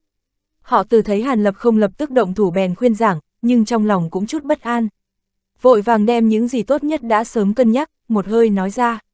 Nói xong chưa, Hàn Lập bình tĩnh nghe họ từ nói, chút biểu tình cũng không có hỏi một câu. Thế nào, đạo hữu có cảm thấy lời từ mỗ là lời nói thật? Họ từ nhìn thấy vẻ mặt của Hàn Lập, trong lòng khẽ run lên, cẩn thận hỏi lại một câu. Dừng tay, cũng không phải không được, nhưng ngươi dùng phương pháp gì, để ta tin tưởng đó là lời thật. Chỉ bằng vào một ít lời nói hay là dựa vào một lời thề sao? Hàn Lập cười lạnh một tiếng, ánh mắt mang một tia châm biếm. Đương nhiên không có khả năng, thánh nữ của thánh điện chúng ta, có thể sử dụng bí thuật triệu hoán chân linh thiên lan thánh thú, cùng đạo hữu ký hạ thánh thú chi ấn, mời đạo hữu làm khách khanh trưởng lão của thánh điện. Như vậy, chỉ cần đạo hữu đem thánh thú phân thân trả lại cho chúng ta, chúng ta sau khi trở về còn có thể hướng những người khác giải thích, thánh điện cũng không có thể xuống tay đối với người mình. Họ từ vội vàng nói, thánh thú chi ấn, ta đi ngang thao nguyên cũng có nghe nói qua. Nghe nói là một loại ấn ký hạ trên người, đều là những nhân vật trọng yếu của thánh điện, khiến cho không thể có sát tâm với nhau, nếu không ấn ký sẽ phát tác, làm cho người ta nhiễm một loại thượng cổ nguyền rủa chớ chú, thần thức phải trường kỳ chịu đau đơn vô cùng, sống không bằng chết. Hàn Lập nghe vậy có chút ngạc nhiên, trầm ngâm một chút nói. Hàn đạo hữu bia việc này là được rồi, ta cùng Hàn huynh cũng không đến bước đường ngươi chết ta sống, sinh tử đại cừu, chủ yếu cũng chỉ là do thánh thú phân thân bị bắt. Về cái chết của tiên sư, xem thực lực của Hàn huynh bây giờ mà nói, xem như không đáng nhắc tới. Nguyên Anh họ từ thấy Hàn Lập có chút động tâm, tiếp tục cật lực khuyên can. Hàn Lập khẽ cau mày, thần sắc âm trầm bất định. Lúc này, Nguyên Anh họ từ cũng thức thời ngậm miệng không nói gì nữa, chỉ lặng lặng chờ quyết định của Hàn Lập. Chẳng qua trong ánh mắt, ẩn hiện một vẻ bất an. Hắn biết rõ, Hàn Lập nếu thật sự muốn tiêu diệt bọn hắn, mấy người trước mắt dù liên thủ lại, nhưng hắn chỉ là một cái Nguyên Anh, căn bản không có khả năng chạy trốn, xem như sinh tử tất cả đều phụ thuộc quyết định của đối phương. Cho nên, ngay cả hắn, một gã tu sĩ Nguyên Anh hậu kỳ, giờ phút này trong lòng cũng cảm thấy bất ổn, như đang đứng trên mặt băng mỏng manh vậy. chương 1051, Sất niệm chân lôi. Ta tuy rằng không sợ hãi bọn người thiên lan thánh điện các ngươi, nhưng đích xác không muốn có quan hệ với người đã từng hạ thánh thú tri ấn cùng với cũng như tham gia vào sự tình thánh điện sự tình của các ngươi. Dù dù có được đi chăng nữa, ta ta làm sao biết được cái gọi là thánh thú tri ấn đó có cái gì cổ quái ở trên không hay không. Bọn người thiên lan thánh điện các ngươi không tìm hàn mỗ gây phiền phức là được rồi. Đương nhiên, nếu các ngươi thật sự không biết phân biệt tốt xấu, kiên trì muốn chết thì cũng thì phải ứng phó tiếp nữa. Cũng không nên trách hàn mỗ thủ đoạn độc ác được. Hàn Lập nhìn chằm chằm vào thanh niên đứng đầu họ từ, bình tĩnh nói rằng. Cái này từ đây là chuyện đương nhiên, với thần thông của đạo hữu hôm nay, Thiên Lan Thánh Điện chúng ta sao dám phá hoại việc mà người chưa cho phép sự tình chứ? Đạo hữu bằng lòng thả thánh nữ của bản điện trước à? Thanh niên họ từ vui vẻ tính thanh niên lời nói vui vẻ, vội vàng cả lớn tiếng nói rằng. Đừng nóng vội, điều kiện của ta còn chưa nói ra mà. Hàn lập hư một tiếng, nói với giọng đầy hào không hề khách khí. Hàn huynh còn điều kiện gì, cứ việc nói đi. Thanh niên họ từ tính thanh niên ngẩn ra, lập tức trong lòng dùng mình. Phân thân thân thánh thú ta sẽ trả lại cho các ngươi. Nhưng điều chuyện này không phải có khả năng lập tức làm được, đại khái là ta còn muốn chờ thêm ít năm nữa. Yên tâm, ta nếu như đã đáp ứng các ngươi thì sẽ không gây tổn thương đến tính mệnh con thú này. Hàn lập mặt lộ ra một tia quỷ dị, không thể trả ngay thánh thú phân phân thân thân. Vậy, vậy không dễ xử lý lắm. Thanh niên họ ở tính thanh niên vừa nghe lời này, bất chợt chỉ chạy trong lòng trầm xuống. Đó chỉ là điều thứ nhất thôi, thứ hai, để các ngươi sau này sẽ không nuốt lời cam đoan, ta muốn ngươi tại đây cùng với vị thánh nữ Nguyên Anh này đều bị ta hạ cấm chế, yên tâm, điều không phải là cái loại cấm thần thuật này đâu.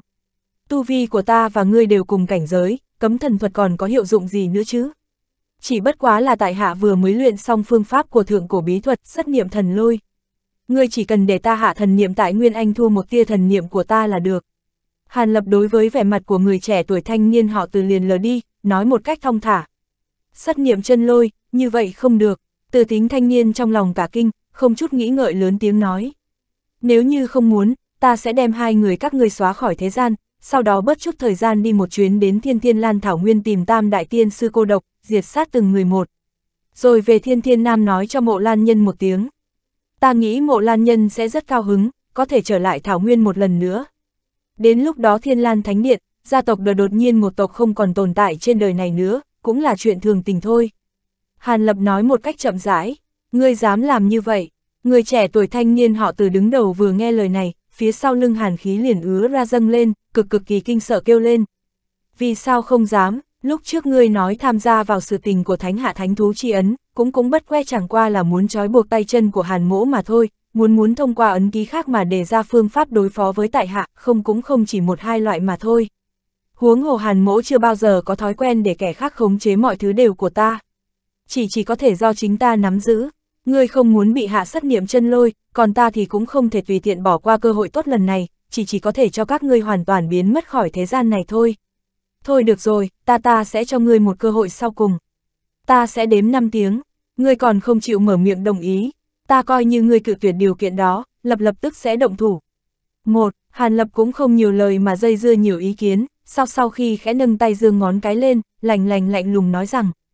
Ta làm sao biết được, sau sau khi hạ xong loại chân lôi đó, người người có thể hay không nhân cơ hội đối phó với chúng ta. Thanh niên họ từ tính thanh niên có chu thơi kinh hoàng nhưng không chịu dễ dàng buông tha tay mà nói. Ta hiện tại muốn giết ngươi, còn cần làm điều thừa à? Hàn Lập cười lạnh một tiếng, trong miệng phát ra một từ nhị hai. Đồng thời xuất ra một căn thủ chỉ dơ thêm ngón trỏ. Nhưng, Nguyên Anh đứng trên khổng tước, một bên trong miệng vừa thì thào liên tục, một bên con ngươi vừa quay tròn loạn chuyển, tựa tựa hồ muốn nhìn tìm xem có một chút cơ hội chạy thoát cái chết hay không. Nhưng chẳng biết từ bao giờ, Linh Khước cũng đã tới bên cạnh, ánh mắt thèm thuồng nhìn Nguyên Anh một cách bất hảo. Thanh niên họ từ tính từ thanh niên trong lòng bỗng nhiên bị chìm xuống trầm xuống. Tại trước mắt ba người, tập trung Nguyên Anh của hắn muốn chạy đi, quả thật chỉ là vọng tưởng si tâm. 4. Trong nháy mắt Hàn Lập đã gập xong căn thủ chỉ ngón tay thứ tư, chỉ còn lại ngón út mà thôi. Cơ hồ ngay sau đó, Khuê Linh cùng con rối hình người cũng không che giấu thực lực nữa, phóng xuất khí thế mạnh mẽ kinh người, khéo léo áp chế, hướng về phía Linh Tê khổng tước mà uy bức.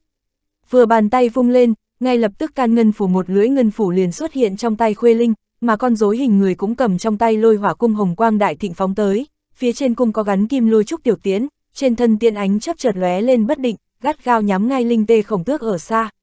Về phía Hàn Lập tuy vẻ mặt vẫn chẳng có biểu hiện gì nhưng tay đã nhanh chóng gập lại, linh quang lóe lên, tam tam diễm phiến tức thì đã hiện ra. Nhẹ nhàng nhoáng xuống một cái, mặt trên phiến đã cuồn cuộn hiện lên các ký hiệu, quầng sáng tam sắc phóng ra kịch kiệt, nghe như tiếng phượng hót trong trẻo bắt đầu phát ra. Từ tính thanh niên thấy đang đứng ở giữa ngũ sắc linh quang, Nguyên Anh trên mặt không còn chút huyết sắc, nhưng miệng vẫn gắt gao khép lại. Trong mắt Hàn Lập Hàn quang rét lạnh như đao, môi khẽ động, một từ năm chờ thốt ra. Được, từ mỗ cho ngươi hạ cấm chết tại Nguyên Anh. Từ tính thanh niên rốt cuộc đã nhìn thấu sát khí của Hàn Lập liền ra quyết định, chỉ biết nghiến răng nghiến lợi mà nói. Hàn Lập nghe thấy lời này, ánh mắt chớp động như gật đầu, tay xuất ra một pháp bắt quyết, trong miệng truyền truyền ra thanh âm của một loại chú ngữ thượng cổ. Sau một lúc sắc mặt trở nên trắng nhợt, nhưng theo ánh mắt lại hướng đến cây đậu có suốt một đoàn quang sắc ánh sáng màu trắng nhỏ như hạt đậu mà ôm tới, tựa hồ như đang bọc lấy cái gì đó, hướng về phía Nguyên Anh của người trẻ tuổi thanh niên họ từ Nguyên Anh nhẹ nhàng bay đi tới. Tam diễm phiến trong tay kia tam diễm phiến vẫn không ngừng phát ra âm thanh, Hàn Lập không hề triệt hồi pháp quyết. Hiển nhiên để phòng ngừa người trẻ tuổi thanh niên họ từ mượn cơ hội làm khó dễ nên cố ý dùng để cảnh cáo. Linh cùng với con rối hình người kia đều không thả lỏng, ngược lại người trẻ tuổi họ từ lại cảm ứng được trên người bọn họ, khí thế trái lại càng mạnh mẽ thêm vài phần, gắt gao tập vào Trung Nguyên Anh lại một chỗ của mình, căn bản có thể phóng ra bất cứ lúc nào. Từ thanh niên thầm thở dài, nhìn quang đoàn bạch sắc ấy với ánh mắt rất là kiêng kỵ. Chỉ thấy bên ngoài là lớp bạch sắc, bên trong có ngũ sắc linh quang mơ hồ chấp động, đó chính là hình dáng đích thực của sấm niệm lôi chân được lưu truyền thời thượng cổ, hẳn là không khác biệt lắm. Sắt niệm chân lôi trong chớp mắt đã xuất hiện ngay trước mặt, lại bị ngũ sắc linh quang chắn bên ngoài. Sau khi thanh niên họ từ do dự bỏ qua việc chống lại Hàn Lập với nhãn thần lạnh đến thấu xương, chỉ còn có thể bất đắc dĩ phóng ra quang đoàn bạch sắc tiến nhập vào trong linh quang. Kết quả sau khi bạch quang chợt lóe lên, quang đoàn trực tiếp nhập vào Nguyên Anh trong cơ thể không thấy hình bóng nữa. Từ thanh niên vội vã dùng thần thức kiểm tra tỉ mỉ tình huống của Nguyên Anh. Kết quả không chút dị thường nào xảy ra, sát niệm chân lôi tựa hồ giống như biến mất.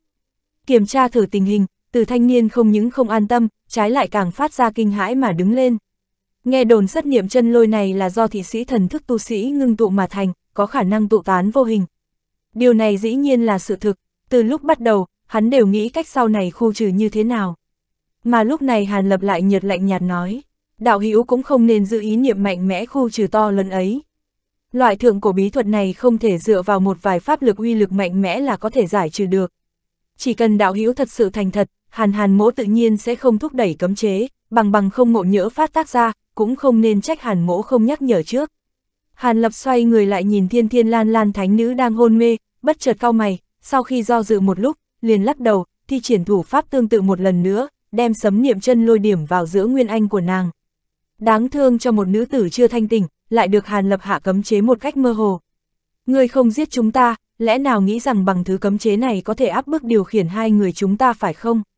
Thanh niên họ từ lại dùng thần thức tại Nguyên Anh tìm kiếm một lần nữa, sau khi không thu được kết quả, liền không cam lòng oán hận mà nói. Áp chế các ngươi ư, coi như là đúng vậy, bất quá các ngươi yên tâm, chỉ cần tại côn ngô sơn này ngoan ngoãn nghe lời, trợ giúp ta một tay, ra khỏi đây, tùy hướng đông tây mà chạy, các người vẫn là trưởng lão và thánh nữ thiên lan thánh điện, còn ta thì về thiên nam tiếp tục tiềm tu. Về phần xét nghiệm chân lôi này, qua qua ba, 400 năm gì đó, cũng sẽ mất đi hiệu lực. Hàn Lập nhàn nhạt trả lời, ba 400 năm, từ thanh niên thực sự không còn gì để nói nữa. Được rồi, thời gian của chúng ta lúc này bị trì hoàn khá nhiều, cũng nên hành động. Hàn Lập liếc mắt quỷ dị nhìn Lâm Ngân Bình vẫn còn hôn mê, tay áo hướng về phía nàng nhẹ nhàng vung lên, mọt một mảnh thanh hà bay tới cuộn trùm lấy. Nàng bị mảnh thanh hà chụp xuống, mí mắt khẽ chấp động vài cái, đôi mắt đẹp liền chậm rãi mở ra.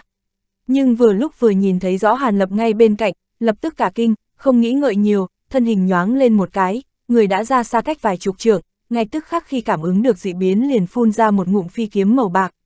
Lâm đờ sau o hiếu, chậm đã, từ thanh niên tự nhiên sẽ không để Lâm Ngân Bình hành động thiếu suy nghĩ, vội vàng lên tiếng can ngăn nàng, môi môi khẽ nhúc nhích chuyển âm bay đến.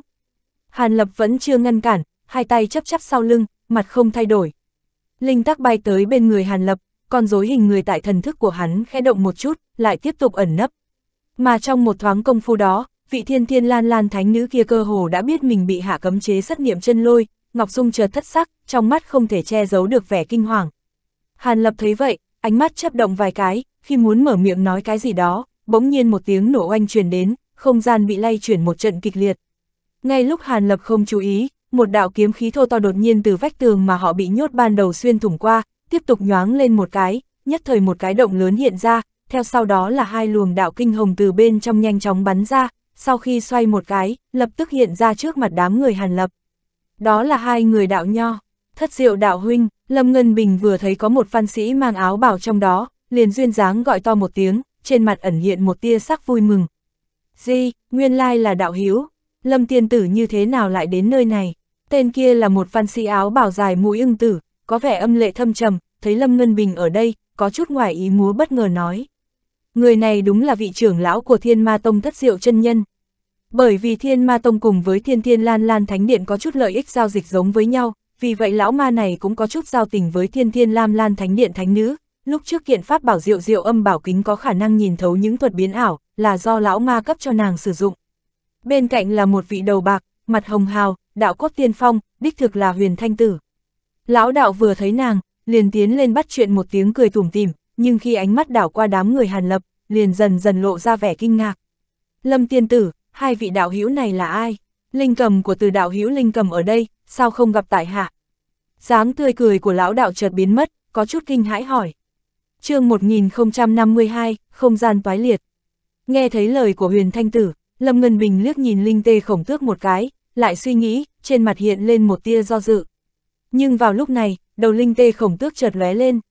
Khuôn mặt từ thanh niên lại một lần nữa biến ảo hiện ra, đứng tại nơi làm cho vị văn sĩ cùng lão ma giật mình trước sau cười khổ một tiếng, sau đó nói rằng Hai vị đạo hữu không cần tìm tại hạ, thân thể ta hiện tại đã bị hủy, hôm nay chỉ còn lại nguyên thần trên người linh cầm mà thôi. Làm sao có thể như vậy? Từ huynh là tu sĩ hậu kỳ, thân thể sao lại dễ dàng bị hủy được? Lẽ nào cổ ma thánh tổ đã thoát khỏi trấn áp của nơi này? Huyền thanh tử kinh hãi, sắc mặt biến đổi không ngừng. Nghe lời nói của đạo hiếu, chấn ma tháp này lúc trước có ma vật gì đó ư? Từ thanh niên sắc mặt âm trầm xuống, từ đạo hiếu không sai đâu, trước kia bần đạo cũng đã biết, là sau khi nhận được tin tức của sư môn, đối với tình hình nơi này có chút hiểu biết. Chuyện thánh tổ là việc rất lớn, mong rằng đạo hữu cho hai người bọn ta giải thích một chút. Sau khi huyền thanh tử thở dài một tiếng, liền hàm hồ nói. Tính thanh niên trong lòng tin lời nói đó, nhưng hiện tại bản thân mình đã là nguyên anh chi than, cũng không tốt đến mức để có thể truy vấn cái gì khác nữa.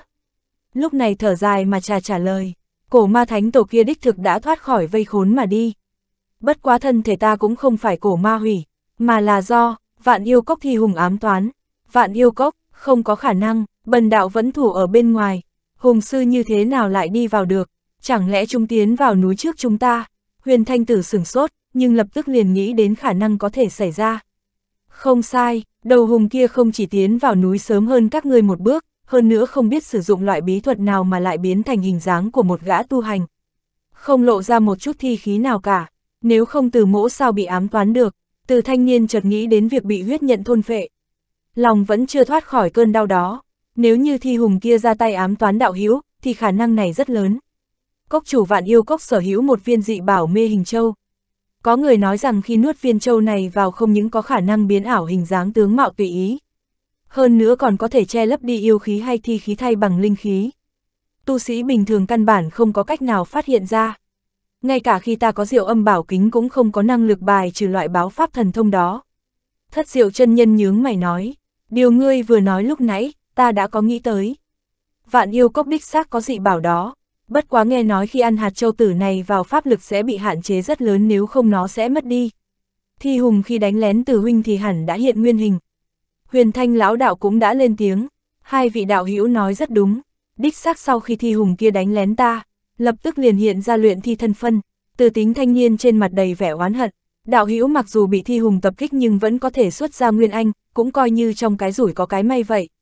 Hơn nữa đạo hữu còn chưa từng đoạt xá, chỉ cần trở về tìm cho được thân thể thích hợp, khổ tu lại hơn trăm năm. Như thế tu vi mới có thể khôi phục lại như ban đầu. Trung niên văn sĩ liếc mắt nhìn linh tê khổng tước đánh giá, tuy vậy cũng không nhìn ra gì cả, mỉm cười nói. Thất diệu huynh nhãn quan thật sáng suốt, hiện tại tuy rằng có thể nương nhờ trong cơ thể phụ cầm tạm thời nhưng không hẳn là phương pháp lâu dài về sau, theo tại hạ việc tìm một thân thể thích hợp vẫn là một cách tốt nhất.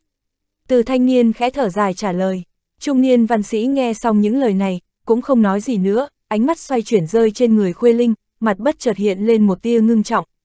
Vị đạo hữu này trông rất lạ mặt, chẳng biết nên xưng hô như thế nào. Thất diệu chân nhân chậm rãi hỏi, lão đạo bên cạnh mắt đồng thời chấp động một hồi, tỉ mỉ đánh giá sử phụ. Dù sao Khuê Linh cũng chỉ có tu vi của thập cấp yêu thú, cơ bản không có cách nào giấu được hai vị đại tu sĩ cùng cấp độ. Sử phụ trên mặt không có một chút biểu tình, nhưng Hàn Lập lại mở miệng cười cợt, vị này là Khuê Linh đạo hiếu, cũng giống với Hàn Mỗ, vì khuấy động cấm chế nên bị chuyển tới núi này. Khuấy động cấm chế nên bị đẩy tới đây, đây là chuyện phi thường rất hiếm gặp, chẳng hay tông môn tu sĩ của Hàn đạo hiếu ra sao. Bần đạo tựa hồ chưa từng gặp qua đạo hiếu, huyền thanh tử gặp sử phụ thì không nói một lời, một hồi trông thấy hình dạng của Hàn Lập, trong mắt liền hiện lên một tia kinh ngạc. Ban đầu đối với Hàn Lập không chút để ý giờ đã thay đổi. Hàn Lập mỉm cười trả lời, Hàn mỗ chỉ là một tán tu, đạo hữu không biết cũng không có gì là lạ, chẳng qua có thể cùng ở một chỗ với thất diệu chân nhân, thân phận đạo huynh cũng không phải nhỏ. Tại hạ mạo muội muốn hỏi một chuyện, hai vị đạo hữu làm sao có thể tiến nhập vào tầng thứ 8. Theo ta biết, chuyện động trận bên kia đích thực là không ai có khả năng kích chuyển được. Hàn Lập chưa từng gặp qua huyền thanh tử, nhưng nghe những lời bọn họ vừa nói xong, mơ hồ biết được đối phương có 10 người là thập đại tông môn trưởng lão, tự nhiên sốc lại tinh thần mà đối đạp. Bần đạo thực sự là hồ đồ, còn chưa tự giới thiệu mình trước, lão đạo là huyền thanh tử của Thái Nhất Môn, về phần làm sao vào được, cơ bản hai người chúng ta vẫn chưa dùng cái truyền tống trận gì đó, mà là dùng phá giới phủ của Thái Nhất Môn chúng ta, phá vỡ trướng bích của tầng thứ 8, mạnh mẽ tiến vào. Huyền thanh tử không thèm để ý mà nói, phá giới phù, loại phù có thể phá vỡ trường bích không gian. Hàn Lập vừa nghe tên này liền ngẩn ra, trên mặt lập tức hiện ra vẻ hoài nghi không ngớt. Chỉ dựa vào phù đương nhiên không thành, còn phải phối hợp với bí thuật bản môn thiên A thần kiếm. Bất quá bần đạo không nghĩ tới, không ngờ vừa mới tiến vào đã bị nhốt trong một không gian khác. Lão đạo quay đầu nhìn thoáng qua, không gian bị hắc phong kỳ cấm chế, tấm tắc cười nói. Thái nhất môn phá giới phù cùng với thiên A thần kiếm đại danh đỉnh đỉnh. Thiếp thân đã ngưỡng mộ từ lâu, chúng ta thúc thủ không có kế sách nào đối với không gian chướng bích, đã bị nhị vị đạo hữu Thái nhất môn cùng với thiên ma tông phá hủy không hổ là người của đệ nhất chính, mà đại tông. Lâm Ngân Bình than nhẹ nói, Lâm tiên tử nói đùa rồi, thiên lan môn các người, bảo vật không phải là thiếu. Chỉ là bổn môn may mắn vừa mới có được khẩu thần kiếm có chút uy lực phá thần thông mà thôi huyền thanh tử vân về tròm dâu, khách khí nói. Ngân Bình nghe lão đạo khiêm tốn nói vậy, trong lòng không khỏi cười khổ không nguôi. Thiên Lan Thánh Điện nói về cấp độ tu luyện thì không hề dưới hai đại tông phái, thế nhưng nếu luận về bảo vật có lẽ sẽ không sánh được với hai nhà một tông một môn kia. Được rồi, kiền lão ma đang ở địa phương nào nhỉ? Theo huyền thanh tử nói, lão ma cũng đồng dạng tiến nhập vào núi. Trung niên văn sĩ ánh mắt bỗng nhiên đảo qua, thần sắc chấp động nói. Kiền lão ma, thanh niên họ từ và Ngân Bình vừa nghe nói vậy, bất chợt hướng về phía Hàn Lập xem xét. Dù sao trước kia tiên tông của Mộc Phu Nhân đã từng nói qua việc Hàn Lập cùng kiền lão ma động thủ đánh một trận. Mặc dù bọn họ không tin rằng lão ma bị đánh chết trong tay Hàn Lập, thế nhưng sau khi thấy qua thần thông của Hàn Lập, lúc này cũng không khỏi có vài phần hoài nghi. Thấy thái độ của hai người này, huyền thanh tứ cùng thất diệu chân nhân tự nhiên cảm thấy vô cùng kinh ngạc, không khỏi liếc mắt nhìn nhau, ánh mắt đồng dạng đều tập trung trên mặt Hàn Lập.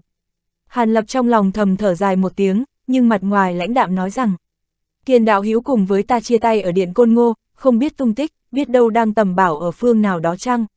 Lại nói tiếp, ta cũng không hề thấy những kẻ âm la tông khác đâu cả. Hàn đạo hữu ám chỉ các đạo hữu bọn họ à.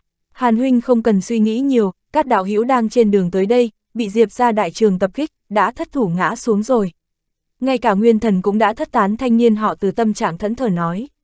Thì ra là thế, Hàn Lập có chút giật mình, Côn Ngô Sơn đúng là hiểm ác vạn phần, đã có nhiều tu sĩ vì thế mà ngã xuống rồi. Huyền Thanh Tử tựa hồ cảm thấy được điều gì đó. Sau khi nhìn chằm chằm vào Hàn Lập thì dị sắc chợt lóe lên, lại cảm khái thốt ra một câu. Người của âm La Tông không tốt cho lắm, chỉ tổ làm vướng tay vướng chân thôi. Mấy vị đạo hữu biết rõ chuyện cổ ma thánh tổ, trước tiên hãy nói qua một chút.